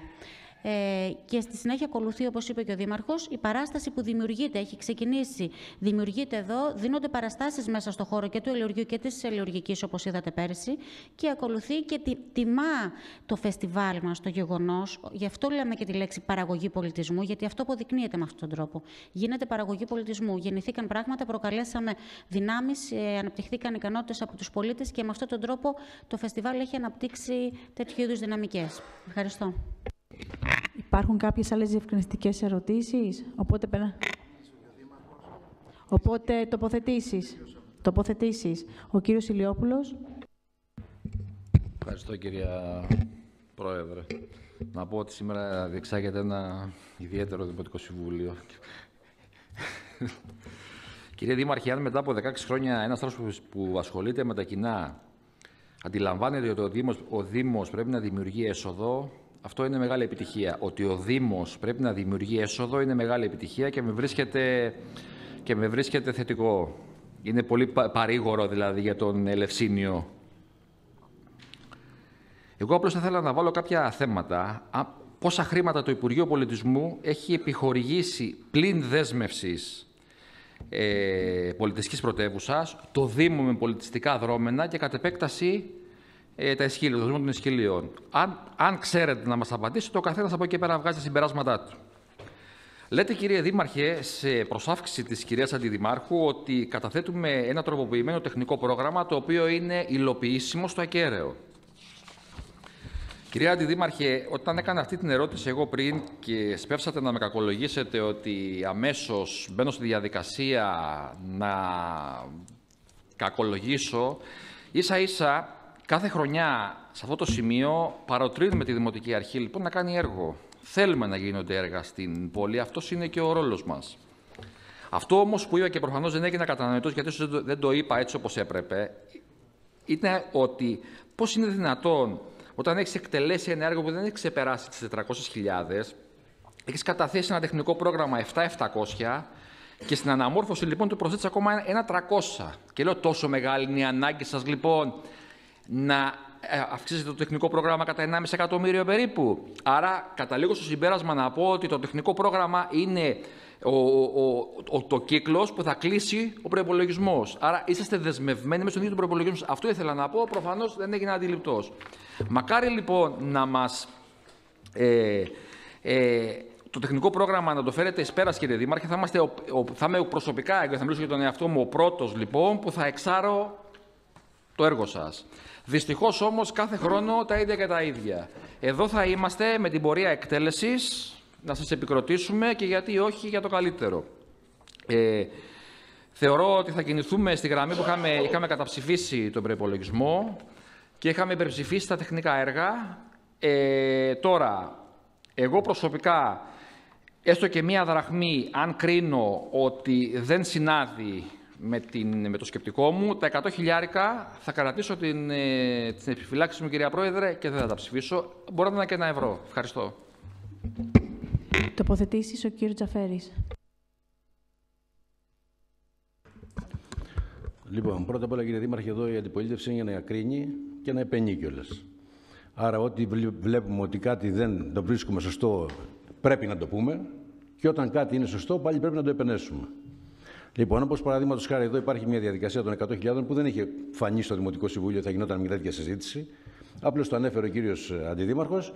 Έγινε μια διαδικασία στην οποία είναι γεγονός ότι αυτά τα χρήματα δεν ήρθαν εξ ουρανού του Υπουργείου Πολιτισμού στην Ελευσίνα. Έχει γίνει μια προσυνεννόηση. Παρ' όλα αυτή την προσυνεννόηση, εμείς βρεθήκαμε μπλεγμένοι λίγο με το θέμα των 65.000 ευρώ και φτάσαμε εκεί. Δεν έχουν έρθει έτσι. Έχει γίνει μια προσυνεννόηση είτε με την κυρία Φριτζέλα, είτε με την κυρία Υπουργό, είτε με τον Δήμαρχο. Ε, Πάντως έχει υπάρχει μια προσυνεννόηση για να έρθουν τα λεφτά και φτάσαμε σε αυτό το σημείο. Εγώ δεν το συνεχίζω παραπέρα. Συμφωνώ ότι όταν έρθει στο Δημοτικό Συμβούλιο, μια και έγινε συζήτηση, καλό είναι όλα τα στοιχεία να παρατεθούν προκειμένου Α τα πάρει τα χρήματα η κυρία Φριτζίλη και συνεχίζει να προσφέρει το έργο που προσφέρει που λέτε και εσείς για τα ισχύλια και όλα αυτά. Δεν έχουμε θέμα. Όσον αφορά το δεύτερο, και εμείς να επενέσουμε αυτό που είπατε εσείς προηγουμένως για τον κύριο Λινάρδο, ότι προχωρήσανε, οριμάσανε και τώρα θα κάνουμε κάποια έργα και θα προχωρήσουν. Αλλά εδώ κρίνουμε, γιατί 8 χρόνια, αν βάλετε τα οικονομικά των έργων και τα οικονομικά του Δήμου, δεν κάνουν τίποτα, όσο και λεφτά να έχετε. Γιατί το 10, παραδείγματος χάρη, υπήρχαν 8 εκατομμύρια επενδύσεις και 2,5 εκατομμύρια χρηματικό υπόλοιπο. Αν τα βάλετε σε 8 χρόνια όλα αυτά, θα δείτε ότι τελικά δεν έχουμε υλοποιήσει τίποτα σύμφωνα με το τι υλοποιούσε ο Δήμος πριν. Και το τελευταίο, μία προτασούλα θα κάνω όσον αφορά το πρόγραμμα. Ναι, ναι. Ε, το οποίο και εγώ το ξεχνάω πολλές φορές για να είμαι ειλικρινής. Αλλά κάθε φορά που περνάει, περνάω και βρέχει, εδώ στην Παγκάλου, ειδικά στα φανάρια, με αυτές τις στάσει των λεωφορείων, κάτι πρέπει να κάνουμε. Από τότε που μπήκαν αυτές οι λαμαρίνες για να γίνει κάποιο έργο και δεν προχωράει, ο κόσμος ταλαιπωρείται προκειμένου να περιμένει το λεωφορείο στις 5 ώρα το πρωί και στις 6 και να γίνει τέτοιος χαμός. Καλό είναι λοιπόν να δούμε τι μπορούμε ακριβώς να κάνουμε όσον αφορά τα πεζοδρόμια, γιατί είναι γεγονός ότι το ψώμετρο είναι πολύ μικρό των πεζοδρομίων. Να δούμε τι μπορούμε να κάνουμε με το οικόπεδο που υπάρχει ή αν μεταφέρουμε τα λοιπά κάπου τις στάσεις. Δηλαδή να πάνε δεξιά για την Αθήνα και να μείνει μόνο μια στάση της Μάνδρας. Εκεί κάπως πρέπει να το υιοθετήσουμε, γιατί εκεί ταλαιπωρούνται πάρα πολύ οι δημότες μας στις στάσεις αυτών των λεωφορείων. Ευχαριστώ. Τοποθετήσεις ο κ. Λιάσκος. Ευχαριστώ κύριε Πρόεδρε. Ε, προσπάθησε ο κύριος Δήμαρχος να μας πει ότι δεν ενδιαφερόμαστε για τα τεχνικά έργα και έχουμε σταθεί στο ποσό των 100.000 του Υπουργείου Πολιτισμού. Ειλικρινά ξαφνιάζουμε γιατί κάθε φορά, κάθε χρόνο, εδώ πέρα συζητάμε για τα τεχνικά έργα και κάθε φορά χρόνος τα ψηφίζουμε. Εντάξει. Δεν θα, θα σταθώ και σε αυτό που είπε ο κύριος Ηλιόπουλος, ότι με άλλο το ποσό που ψηφίζουμε, πολύ ελάχιστο αυτά που πραγματοποιούνται, κυρία Πρόεδρε. Αλλά γεννάται μια απορία. Και δεν μας είπε ο κύριος Δήμαρχος. Από τα έργα, παραδείγματο χάρη της ΣΠΕΔΑ, κύριε Δήμαρχε, πόσα από αυτά έχετε υλοποιήσει τα τελευταία τρία χρόνια; Τίποτα. Μηδέν. Κάθε χρόνο σας λέμε η γειτονική δήμη της Δυτικής Αττικής να πάρουμε, να μην πάρουμε, μιλήσουμε για την υπόλοιπη Αττική. Πολλαπλάσια έργα πραγματοποιούν και έργα και μελέτες που παίρνουν από την ΠΕΔΑ συγκριτικά με το Δήμο μας. Επίσης για τα έργα που ήδη ψηφίζουμε, πόσα έχουν πραγματοποιηθεί; Μιλάτε για το σταθμό. Μιλάτε για το Δημαρχείο. Αυτά που το Δημαρχείο που ήδη μας δόθηκε τώρα. Πέρσι, πρόπερσι, αντιπρόπερσι, ποια έργα πραγματοποιήθηκαν πραγματικά από όσα είχαμε ψηφίσει; Συγκριτικά σε αριθμό πάρα πάρα πολύ λιγότερα. Πέρα από αυτό, αναφερθήκαμε γιατί, γιατί σαν Δήμος να μην παίρνουμε χορηγίες από πουδήποτε. Εσείς μιλάτε για το 21, σας είχαμε πει όταν, ψηφί, όταν είχε έρθει η συζήτηση για το 21, ότι μην μας λέτε αυτά που θα επιχορηγείτε το 21, ότι επιχορηγείται ο Δήμος. Πρέπει ο κάθε φορέας, είτε είναι η ΠΕΔΑ, είτε είναι η κεντρική κυβέρνηση, ο, οποιοδήποτε είναι, όταν δίνει για το 21, να μην κόβει από το Δήμο. Άλλο το 21, άλλο ο Δήμος. Δεν είναι δυνατόν εμείς που έχουμε το 21 να παίρνουμε πολύ λιγότερες επιχορηγήσεις από οποιοδήποτε φορέα, από, από άλλους Δήμους που δεν έχουν ένα τέτοιο μεγάλο εγχείρημα. Το Υπουργείο Πολιτισμού δεν χρειάζεται να δοθεί καμία απάντηση. Δεν έχει δώσει ούτε ένα ευρώ σε κανένα νομικό πρόσωπο του Δήμου. Ούτε στο Δήμο, ούτε στο ΠΑΚΠΑ, ούτε στη ΚΕΔΕ. Δεν έχουν δώσει ούτε ένα ευρώ. Σας είπα, μπαίνοντας στη διάβια, τέσσερις Δήμους να σας πω εδώ πέρα: 100.000 ο ένας Δήμος, 30.000 ο ένας Δήμος, 25.000 ο Δήμο, 15.000 ο άλλο Δήμο. Και νομικά πρόσωπα της χώρας μας. Εδώ πέρα εσεί μας λέγατε το Υπουργείο, όταν μιλάγαμε για το βότρι σε ότι προφορικά το Υπουργείο Πολιτισμού σας έλεγε ότι δεν έχουμε ούτε μία δραγμή να σας δώσουμε. Προχθές η κυρία Κονιόρδου είπε στη Σπάρτη 2,5 εκατομμύρια. Λοιπόν, αν είναι δυνατόν, πανηγυρίζουμε εμείς για κάποια λίγα ψίχουλα που μας δίνουν, όταν δίνουν εκατομμύρια ευρώ σε άλλους Δήμους. Όσο αφορά την ενίσχυση των 100.000 ευρώ προ το Αττικό Σχολείο, δεν έχει να κάνει με το πρόσωπο. Μπράβο, συγχαρητήρια στην κυρία Φριτζίλα αυτό που πέτυχε και να την κάνουμε και πρόεδρο στην ΚΕΔΕ και πρόεδρο στο ΠΑΚΠΑ. Γιατί μπορεί και επιχορηγείται πολύ πιο καλά από ό,τι επιχορηγούνται τα νομικά πρόσωπα του Δήμου. Έχει να κάνει με τον τρόπο που δίνονται τα λεφτά που λειτουργεί ο Δήμος ως delivering προκειμένου να, να δοθούν αυτά τα λεφτά. Καλώ έκανε και τα πήρε η κυρία Φριτζίλα και εγώ αν ήμουν θέση θα τα έπαιρνα, αλλά ο τρόπος δεν είναι σωστός ως ενδιάμεσος λειτουργεί ο Δήμος. Και εκεί εκφράζει, δείχνεται ξεκάθαρα η ανεπάρκεια των νομικών προσώπων του Δήμου να διεκδικήσουν επιχορηγήσεις από την κεντρική κυβέρνηση από τα όποια υπουργεία διέπουν αυτή την κεντρική κυβέρνηση. Ευχαριστώ.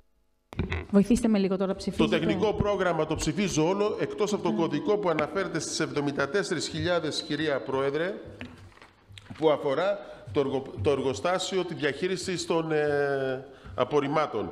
Όσο αφορά την... Ε, έχω τοποθετηθεί στην, ε, για τον αναμόρφωση του προπολογισμού. Στον προπολογισμό έχω εκφράσει τις αντιρρήσεις μου, δεν μπορώ να το ψηφίσω εξ ολοκλήρου εκτός από τα ε, αναλυστικές δαπάνες και τις μισθοδοσίες. Ευχαριστώ. OK. Okay. Όπως έχεις ψηφίσει, ναι.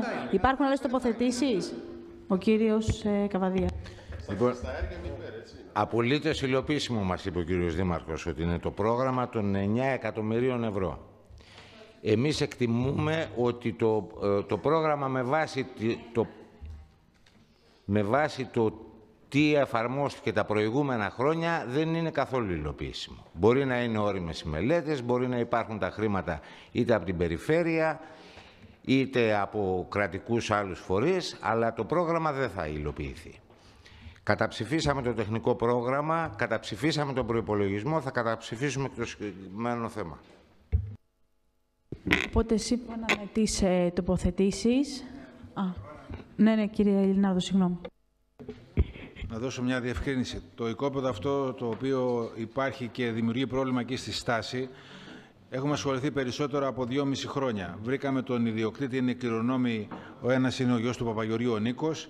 Ήρθε εδώ, πήγαμε στην αρχαιολογία, στην υπηρεσία, κάναμε αυτοψία, ζητήσαμε με ποιο τρόπο μπορούμε να μπαζώσουμε το οικόπεδο αυτό και μάλιστα είπα με δικιά μου πρωτοβουλία ότι θα το αναλάβει αυτό ο Δήμος να τον μπαζώσει έτσι ώστε να, να γίνει επίπεδο. Όμως με την οικονομική συγκυρία αυτή και δεν μπορούσα να πω και τίποτα άλλο στον Νίκο του Παπαγιορίου, αδυνατούσε να, να φέρει 1,5 μέτρο μέσα λέει, στα όρια της ρημοτομικής γραμμής να φέρει αυτές τις σιδερένιες ε, λαμαρίνες που έχει τοποθετήσει γιατί έχουν και αντιστήριξη. Αδυνατούσε δηλαδή να μπει στη δαπάνη αυτή γιατί θέλει αντιστήριξη, τυχείο αντιστήριξη πάνω από 35 μέτρα. Είναι όλη αυτή η γωνιά. Και μείναμε εκεί. Η αρχαιολογία δέχθηκε να καλύψει κάποια ευρήματα τα οποία δεν είναι ιδιαίτερης αξίας, κάποια τυχοποιία που υπάρχει. Έχει περάσει αρκετός χρόνος και δεν μπορούσαμε να δώσουμε μία λύση. Αν λοιπόν μπορεί ο Δήμος από εδώ και πέρα να αναλάβει αυτή τη δαπάνη, γιατί θα πρέπει να κάνουμε μία δαπάνη σε ένα οικόπεδο που δεν μας ανήκει, θα πρέπει να γίνει ένα τυχείο αντιστήριξη, μια μελέτη, να μπαζωθεί όλο αυτό το οικόπεδο και ε, ευχαρίστως ο Νίκος Παπαγιοριού το παραχωρεί στο Δήμο να το χρησιμοποιήσει όπως μπορεί, γιατί εγώ του είχα πει κιόλας να βάλουμε και κάποια παγκάκια, να βάλουμε κάποιες ολοκληρωμένες στάσεις με στέγαστρα, να έχει μια άλλη εικόνα. Μείναμε λοιπόν εκεί, γιατί αδυνατούσε αυτός να κάνει έστω και την παραμικρή δαπάνη. Μας βασανίζει πάνω από δυόμιση χρόνια το θέμα αυτό, αλλά δεν έχουμε βρει ε, λύση. Ο κύριος Κοροπούλης. Ευχαριστώ. Θέλω κάτι να προσθέσω. Η συγκεκριμένη συζήτηση που αναφέρει ο κύριος Δινάρδος έγινε γύρω στο 2013 νομίζω. Είχαμε κάνει τότε μια παρέμβαση σαν Συμβούλιο Δημοτικής Κοινότητας με έγγραφό μας προς τη ΔΕΗ, στο οποίο προς τιμή τους απαντήσανε πάρα πολύ σύντομα. Είχαν κάνει και μία μελέτη σχετικά με τη διευθέτηση του χώρου εκεί, διότι όπως όλοι γνωρίζουμε, τουλάχιστον οι κάτοικοι η Ελευσίνη, το πρόβλημα είναι σοβαρότατο και ως προς την πρόσβαση και προς την ασφάλεια και των ε, επιβατών των μέσων μαζικής μεταφοράς, όσο και των ε, πολιτών, αμαία και όλα τα υπόλοιπα. Η απάντηση που είχαμε πάρει από τη ΔΕΗ ήταν ότι αυτή είναι έτοιμη ανά πάσα στιγμή να προχωρήσουν ακόμα και σε υπογειοποίηση των δικτύων.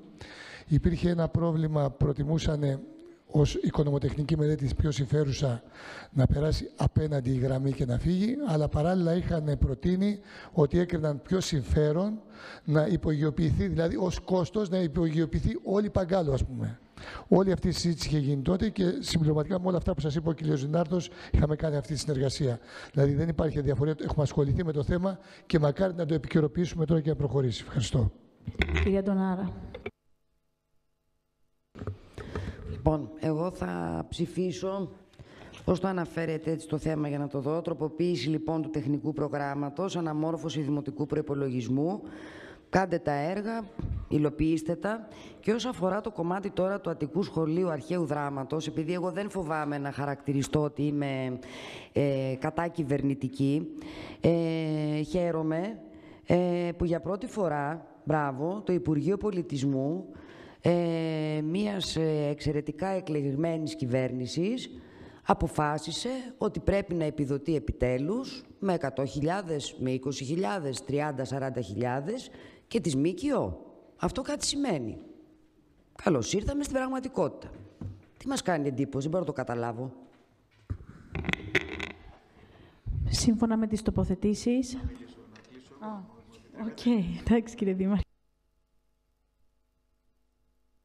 Κυρία Βασίλη. Ε, από ό,τι άκουσα εδώ μέσα, μας αποθαρρύνετε να κάνουμε έργο. Και ομολογουμένως αυτό μου κάνει εντύπωση. Να, ε, και προφανώς, ε, εγώ έτσι το εξέλαβα. Εγώ έτσι το εξέλαβα. Εγώ σας λέω ότι... Εγώ, μπορεί να έκανα λάθος, λοιπόν. Εγώ σας λέω, με λιγάκι να Εγώ σας λέω ότι είμαστε αισιόδοξοι. Εγώ σας λέω ότι είμαστε αισιόδοξοι. Ε, εγώ σας λέω ότι είμαστε δημιουργικοί. Ε, και θα πρέπει να αντιληφθείτε ότι η επιτυχία ενός τεχνικού προγράμματος πραγματικά εξαρτάται από πάρα πολλούς παράγοντες. Είχαμε πει για το 2017 ότι υπήρχαν πάρα πολλά προβλήματα με, την νομοθεσία, με τις νομοθεσίες, αλλά η τεχνική υπηρεσία, παρόλο ότι ξέρετε ότι δεν διαθέτει το προσωπικό που θα έπρεπε να διαθέτει για το πλήθος των καθημερινών προβλημάτων που αντιμετωπίζει και που πρέπει να επιλύει, αλλά και για τις μελέτες και τα έργα τα οποία πρέπει να υλοποιεί, έδειξε πάρα πολύ μεγάλο ενδιαφέρον και έχει πολλές έτοιμες μελέτες. Τρέχουμε δυναμικά πίσω από κάθε έργο για να υλοποιηθεί και θα, πραγματικά θα υλοποιηθούν πάρα πολλά έργα και θα το διαπιστώσετε. Ε, προσωπικά, σαν υπεύθυνη της τεχνικής υπηρεσίας, θέλω να ευχαριστήσω την υπηρεσία για αυτό το θέμα, γιατί ιδιαίτερα το τελευταίο διάστημα ε, δείχνει πολύ μεγάλη προσπάθεια για να επιτύχουμε αυτά τα οποία έχουμε θέσει σαν στόχους. Ε, έχουμε δύο πολύ σοβαρούς παράγοντες που επηρέασαν το τεχνικό πρόγραμμα. Είναι αυτό το σχετικό με τις προγραμματικές συμβάσεις της ΠΕΔΑ. Αν θα δείτε, περίπου 3,5 εκατομμύρια ευρώ είναι τα έργα της ΠΕΔΑ. Αυτά δεν είναι έργα τόσο εύκολα να υλοποιούνται, διότι υπάρχουν μια σειρά διαδικασιών και προγραμματικών συμβάσεων. Όμως, παρόλα αυτά, θα δείτε ότι ήδη ξεκινάμε. Ξεκινάμε με την πλατεία, η οποία, όπως σας είπα, σε δύο περίπου μήνες θα ξεκινήσει. Είναι ένα έργο 2,5 εκατομμυρίων ευρώ. Βέβαια, έχει μια πολύ καλή έκπτωση 58%. Ξεκινάνε οι ασφαλτοστρώσεις, όπως είπα. Ξεκινάει ο βιοκλιματικός, ε, η μελέτη του βιοκλιματικού ε, σταθμού. Ε, ξεκινάνε η, ξεκινάει η αποχέτευση για την κάτω Ελευσίνα. Όλα αυτά θα τα διαπιστώσετε και θα σας ενημερώνουμε αναλυτικά. Όπως επίσης και τα μεγάλα έργα της πολιτιστικής πρωτεύουσας, τα οποία πήγε μπροστά και η Τεχνική Υπηρεσία και η Άσπροφός. Ε, καταθέσαμε το έργο της ελεουργικής και περιμένουμε από την περιφέρεια να μας ε, πει ε, αν θα το, βάλει στο, θα το βάλει μάλλον στο τεχνικό πρόγραμμά της και τι ποσόν θα βάλει. Καταθέσαμε την αποχέτευση ομβρίνων της Άνω Ελευσίνας προϋπολογισμού 6,5 εκατομμύριων ευρώ και πάρα πολλά άλλα που θα σας ενημερώνουμε σταδιακά. Ε, θέλω λοιπόν να πιστεύω ότι το πρόγραμμά μας ε, θα πάει καλά. Μπορεί να μην υλοποιηθεί όλο σε σύνολο, αλλά τουλάχιστον θα το δείτε, θα το δείτε πραγματικά, θα το δείτε να ξεκινάει δυναμικά και να υλοποιείται. Έχουμε και έτοιμες μελέτες και για νέα έργα. Έτσι. Ο κόμβος, παραδείγματος χάρη της Μαγούλας, είναι ένα έργο, μια μελέτη, η οποία έγινε τώρα, πολύ γρήγορα. Και θα τη δείτε σε λίγο καιρό να έρχεται εδώ προς ε, έγκριση για ψήφιση. Εγώ είμαι πολύ αισιόδοξη, κύριοι συνάδελφοι, και θέλω να είστε κι εσείς και θέλω να βοηθάτε αυτό το έργο μας, γιατί είναι ένα κοινό έργο για την πόλη μας και για τα παιδιά μας. Ευχαριστώ πολύ. Κλείνει ο Δήμαρχος. Ε, θεωρώ ότι ο Δήμος πρέπει να έχει έσοδα και έχω πει ότι ο Δήμος, εκτός των άλλων, είναι και επιχείρηση. Και το έχω πει πριν πολλά χρόνια. Και δημοσίως και όταν ήταν κάτω τα σωματεία. Επομένως, δεν ανακάλυψα κάτι, δεν, ανα, δεν ανακάλυψα κάτι τώρα, εντάξει, το έχω πει πάρα πάρα πολλές φορές και αυτός είναι και ο λόγος που όταν μιλάω, όταν κάποιος υπερασπίζεται την αυτονομία του Δήμου, το να έχει έσοδα από εταιρείες κτλ., πιστεύω ότι αυτό είναι το καλύτερο, μα το καλύτερο αντίδοτο, έτσι ώστε να μην εξαρτάται από, μια, από την οποιαδήποτε κυβερνητική πολιτική. Και θα πω παρακάτω τι εννοώ. Άρα λοιπόν, ο Δήμος όχι μόνο γιατί έτσι λειτουργεί, γιατί έχει ταμιακή υπηρεσία, γιατί, γιατί, αλλά ένας Δήμος ο οποίος δεν είναι κερδοφόρος, ένας Δήμος ο οποίος δεν είναι οικονομικά ισχυρός, δεν μπορεί να κάνει το παραμικρό έργο. Και τεχνικό και κοινωνικό και πολιτιστικό. Όλα λοιπόν αυτά γίνονται στην πόλη μας, όπως γίνονται και πιστεύω ότι γίνονται αρκετά καλά, ακριβώς γιατί ο Δήμος είναι οικονομικά ισχυρός. Το πρώτο που θα ήθελα να πω είναι αυτό. Το ότι είναι οικονομικά ισχυρός ο Δήμος, σημαίνει, το ότι είναι οικονομικά ισχυρός ο Δήμος, σημαίνει και κάποια άλλα πράγματα στα οποία θα αναφερθώ πιο κάτω. Ότι είναι αυτόνομος από την κυβέρνηση και δεν λέει σε, έδωσε σε αυτή την πόλη 50.000 στο Υπουργείο Πολιτισμού, έδωσε 30.000 στο Υπουργείο Πολιτισμού, λέει ότι έχω χρήματα, επιλέγω εγώ τις πολιτικές τις δικές μου και αυτές υλοποιώ. Και δεν είναι ανάγκη ούτε να είμαι αρεστός, ούτε να είμαι μία αρεστός σε μια κυβέρνηση. Έχω το δικό μου προϋπολογισμό και εγώ θα κάνω το δικό μου πρόγραμμα, το δικό μου ψηφισμένο πρόγραμμα. Ή αυτός η τελευταία ανάλυση που θα αποφασίσει η δημοτική ομάδα. Τρίτον, τι σημαίνει να δούμε τι μας έχει δώσει το Υπουργείο Πολιτισμού πλην της δέσμευσης της πολιτικής πρωτεύουσας. Αυτά που θα πέσουν, τα χρήματα του Υπουργείου Πολιτισμού θα πέσουν σε άλλη πόλη. Η πολιτική πρωτεύουσα υλοποιείται στον Ασπρόπυργο και στη Μάντρα, δεν υλοποιείται εδώ. Δεν θα έχει όφελος δηλαδή η πόλη, δεν θα, έχει όφελος, δεν έχουν όφελος τα παιδιά μας. Τι αντιλήψεις είναι αυτές; Δεν λέω ότι η πολιτική πρωτεύουσα και Δήμος είναι το ίδιο. Κατανοώ ότι, υπάρχουν, ότι υπάρχει αυτονομία στα, στα όργανα, στα κέντρα λήψη των αποφάσεων. Δεν είναι όμως σαφές ότι και οι δύο αυτοί θεσμοί παλεύουν για την, την ποιοτική αναμάθμιση ολόκληρης της πόλης. Και τέλος, εμείς ακριβώς επειδή θεωρούμε ότι ο Δήμος πρέπει να είναι κερδοφόρος, είναι και επιχείρηση, γι' αυτό δεν έχουμε πέσει ποτέ σε μια λογική της, της επαιτίας. Ότι είμαστε μια πόλη αδικημένη γιατί δίνει το τάδε Υπουργείο σε κάποιον άλλον 50.000, δίνει ένα Υπουργείο σε κάποιον άλλον 80.000 και πάει λέγοντας. Αυτές είναι λογικές εντελώς ξένες. Και αυτός είναι και ο λόγος επειδή δεν έχει αυτή τη λογική ο Δήμος Ελευσίνας που κέρδισε την πολιτική πρωτεύουσα. Σας ευχαριστώ. Έκλεισε ο Δήμαρχος. Τότε με βάση τις τοποθετήσεις είμαστε 15 υπέρ και 5 κατά με βάση τις παρατηρήσεις.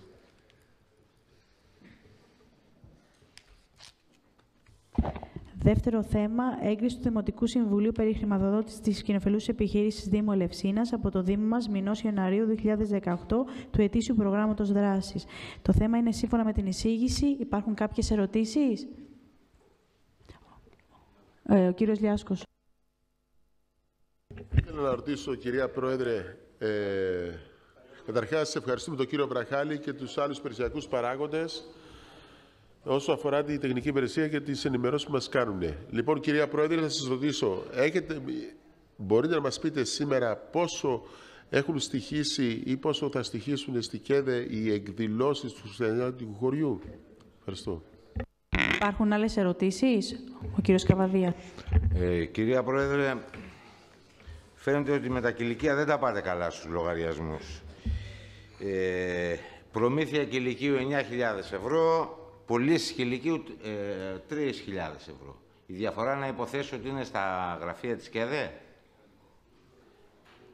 Υπάρχουν άλλες ερωτήσεις; Το λόγο έχει η κυρία Μαρούγκα. Λοιπόν, όσον αφορά την ερώτηση του κυρίου Λιάσκου για τις εκδηλώσεις του Χριστουγεννιάτικου χωριού, ε, δεν μπορώ να σας πω σήμερα αυτή τη στιγμή εδώ πόσο έχουν στοιχήσει, γιατί θα έχει γίνει ο λογαριασμός. Αν θέλετε αύριο το πρωί, η υπηρεσία μπορούμε να σας βγάλουμε ακριβώς πόσο στήχησαν και σύμφωνα με το επιχειρησιακό, ποιο ήταν και το προβλεπόμενο ε, κόστος. Και τι καλύψαμε από αυτό ή τι αφήσαμε από αυτό. Γιατί πάντα προσπαθούμε, δεν εξαντλούμε τους κωδικούς, ε, για να μπορούμε να κάνουμε και οικονομία. Λοιπόν, και όσον αφορά το κηλικείο, ε, υπήρχε ο διαγωνισμός ο οποίος είχε γίνει από το Δήμο για την προμήθεια τροφίμων. Ε, ο διαγωνισμός όσον αφορά αφορά τα είδη που προβλέπονταν για το κηλικείο είχε βγει άγωνος και θα μου επιτρέπατε να κάνω κάτι εκτός μικροφώνου; Δεν ακούγεται. Δεν ακούγεται όμως.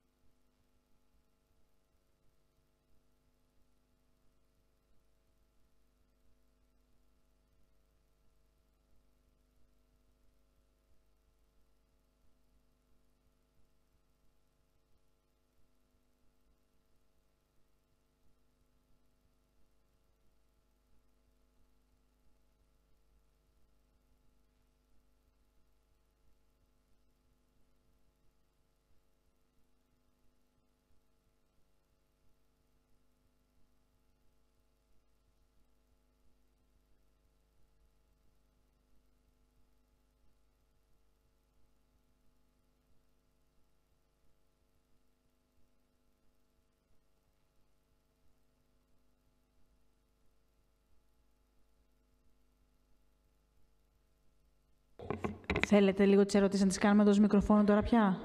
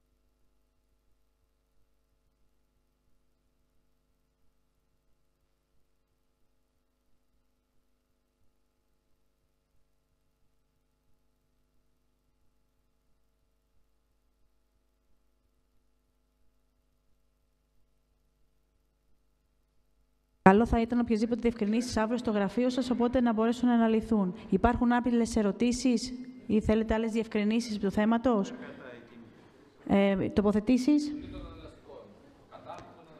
Τοποθετήσεις; OK. Okay.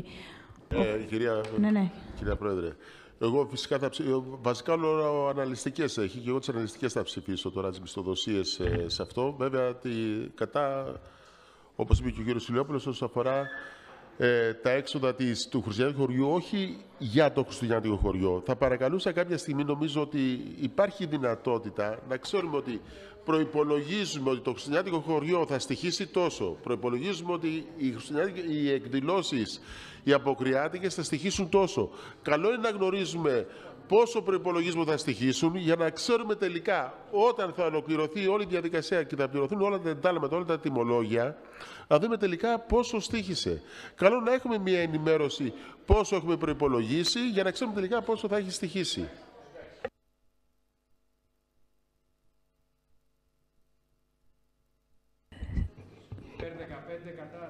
Ο... Τοποθέτηση ψήφου. Ο κύριος Βιλιώτης ε, βρίσκεται στη συνεδρίαση. Και εγώ ψηφίζω αρνητικά μόνο τις αναλυστικές δαπάνες.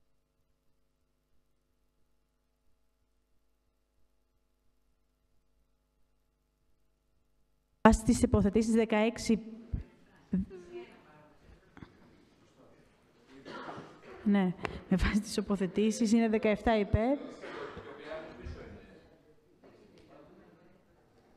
Κατά είναι ο κλέρχος. Βοήθα με λίγο, Ρούλα. Είναι 17 υπέρ. 16 υπέρ.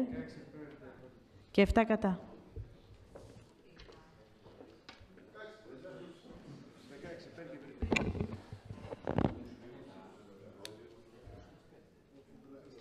Και 6. 16, 5. Και 5 κατά. Κατά. Μπερδέψατε. Okay, ναι, ναι.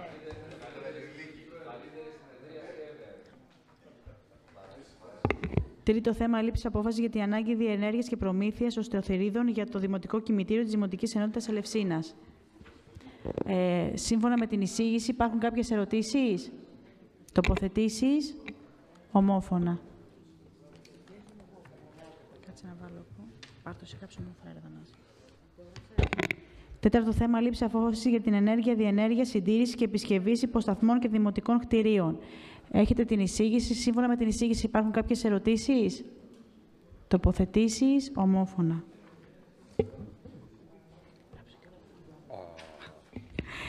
Λήψη, ε, πέμπτο θέμα, λήψη απόφασης για την ανάγκη διενέργειας, συντήρησης και επισκευής παιδικών χαρών του Δήμου Ελευσίνα.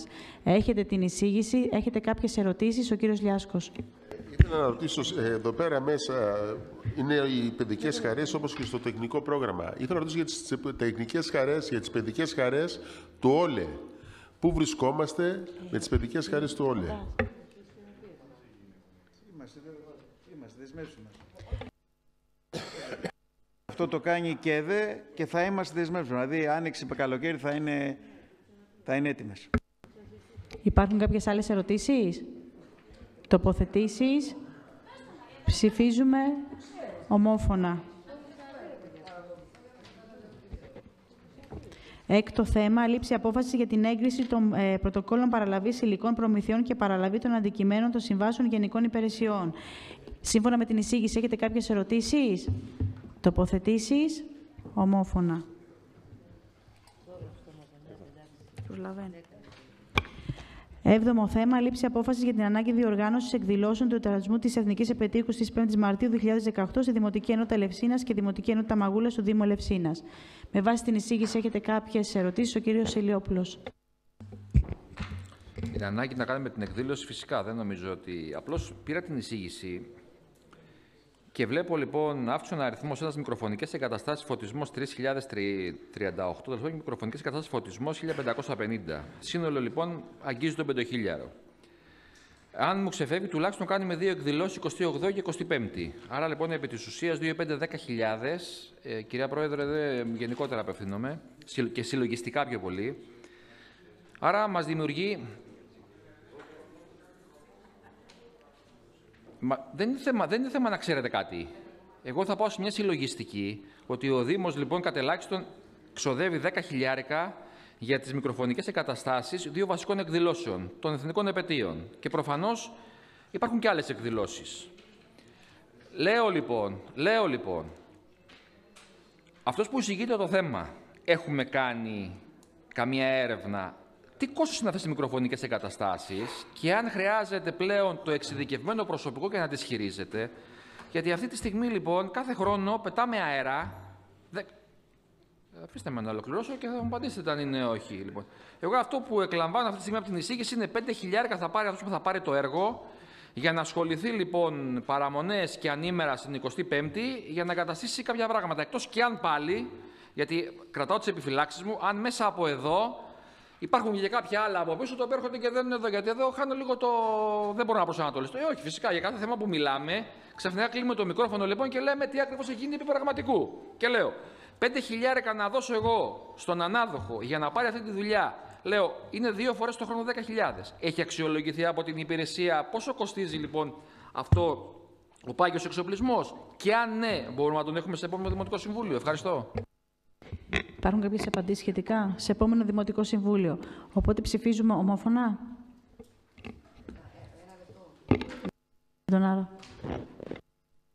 Εγώ θα πω το εξής. Δεν ξέρω αν από, από αυτές τις δαπάνες καλυφθεί κάτι άλλο.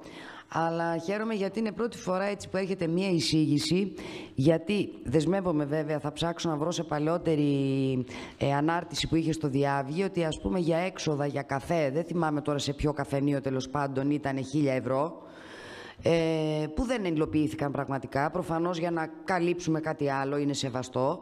Αλλά εγώ θεωρώ τουλάχιστον έτσι όπως έρχεται, είμαστε ένα λεπτό, μην γελάτε κύριε Δήμαρχε, να είμαστε και τυπικά καλυμμένοι ότι ψηφίζουμε κάτι. Άσχετα αυτό αν περιέχει και κάτι άλλο, έτσι. Όγδο θέμα, καθορισμός αμοιβή τη δικηγόρου Αγγελικής Χαροκόπου για το χειρισμό των δύο υποθέσεων ε, ανακοπών της Χαλιβουργικής ΑΕ κατά του Δήμου Λευσίνα για την επιβολή δύο προστήμων διατήρησης αυθαιρέτων κατασκευών ενώπιον του Διοικητικού Πρωτοδικείου Αθηνών. Έχετε την εισήγηση, οπότε σύμφωνα με την εισήγηση έχετε κάποιες ερωτήσεις; Τοποθετήσεις. Ομόφωνα. Ένα το θέμα, λήψη απόφασης για την παραχώρηση χώρου του Τρίτου Γυμνασίου Ελευσίνας για τις εξετάσεις γλωσσομάθεια Europalso ESB. Έχετε την εισήγηση, έχετε κάποιες ερωτήσεις, ο κύριος Λιάσκος. Κυρία Πρόεδρε, ήθελα να ρωτήσω, επειδή θα το χρησιμοποιηθεί αυτός ο χώρος του Τρίτου Γυμνασίου για κάποια μαθήματα, μάλλον αγγλικών, ας πούμε, ανθρώπων οι οποίοι είναι, ας πούμε, φροντιστήρια μάλλον πρέπει να είναι. Ε, είμαστε καλυμμένοι σε θέματα ασφαλείας και πάνω σε αυτό συγχρόνως δράτομαι, επειδή είναι γνωστό ότι λόγω του ΓΔΑΠ έχουμε, έχει πληρωθεί 9.000 ευρώ και έχει γίνει μία μελέτη στο 8ο Δημοτικό Σχολείο και στο 2ο Δημοτικό Σχολείο Μαγούλας.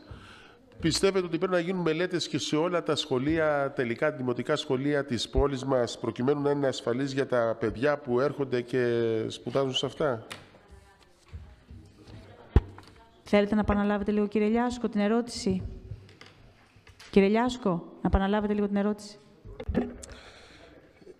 Στο, είχε, στο λόγο του ΓΔΑΠ είχε γίνει συγκεκριμένα από το κύριο Αμυρίδη 9.000 ευρώ ε, κάποιες, μια μελέτη για θέματα ασφαλείας πρέπει να έχει γίνει. Ναι, για πυρασφάλεια και τα λοιπά. Στο 8ο, 1ο Δημοτικό Σχολείο, αν δεν κάνω της Ελευσίνας λάθος, και το δεύτερο Μαγούλας. Εφόσον έχει γίνει για αυτά τα τρία σχολεία, κρίνεται ότι πρέπει να γίνει οι ίδιες αντίστοιχες μελέτες για όλα τα σχολεία της πόλης μας. Ναι, ο κύριος Μίχας έχει το λόγο.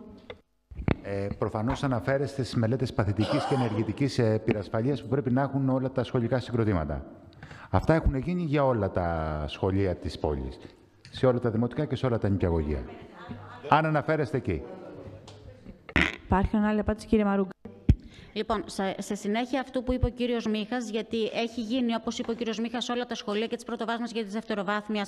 Αν υπάρχουν κάποιες λεπτομέρειες, είναι τώρα στην τελική τους φάση να, να κλείσουν τα ζητήματα ε, παθητικής ε, πυρασφάλειας, να βγουν δηλαδή τα πιστοποιητικά που χρειάζονται τα σχολεία για τα επόμενα τέσσερα χρόνια. Αν δεν κάνω λάθος, κύριε Μίχα, θυμίστε με τόσο έχουν νομίζω διάρκεια τα συγκεκριμένα πυροσ... ε, πιστοποιητικά και απαιτούμενες εργασίες, οι οποίες η μελέτη για την έκδοση των πιστοποιητικών μας ε, επιβάλλει να τις υλοποιήσουμε για να εκδοθεί το πιστοποιητικό. Και αυτό έχουμε κάνει και ο κύριος Μίχας και εγώ στα σχολεία, σύμφωνα με την ανάγκη ε, της συγκεκριμένης έκδοσης.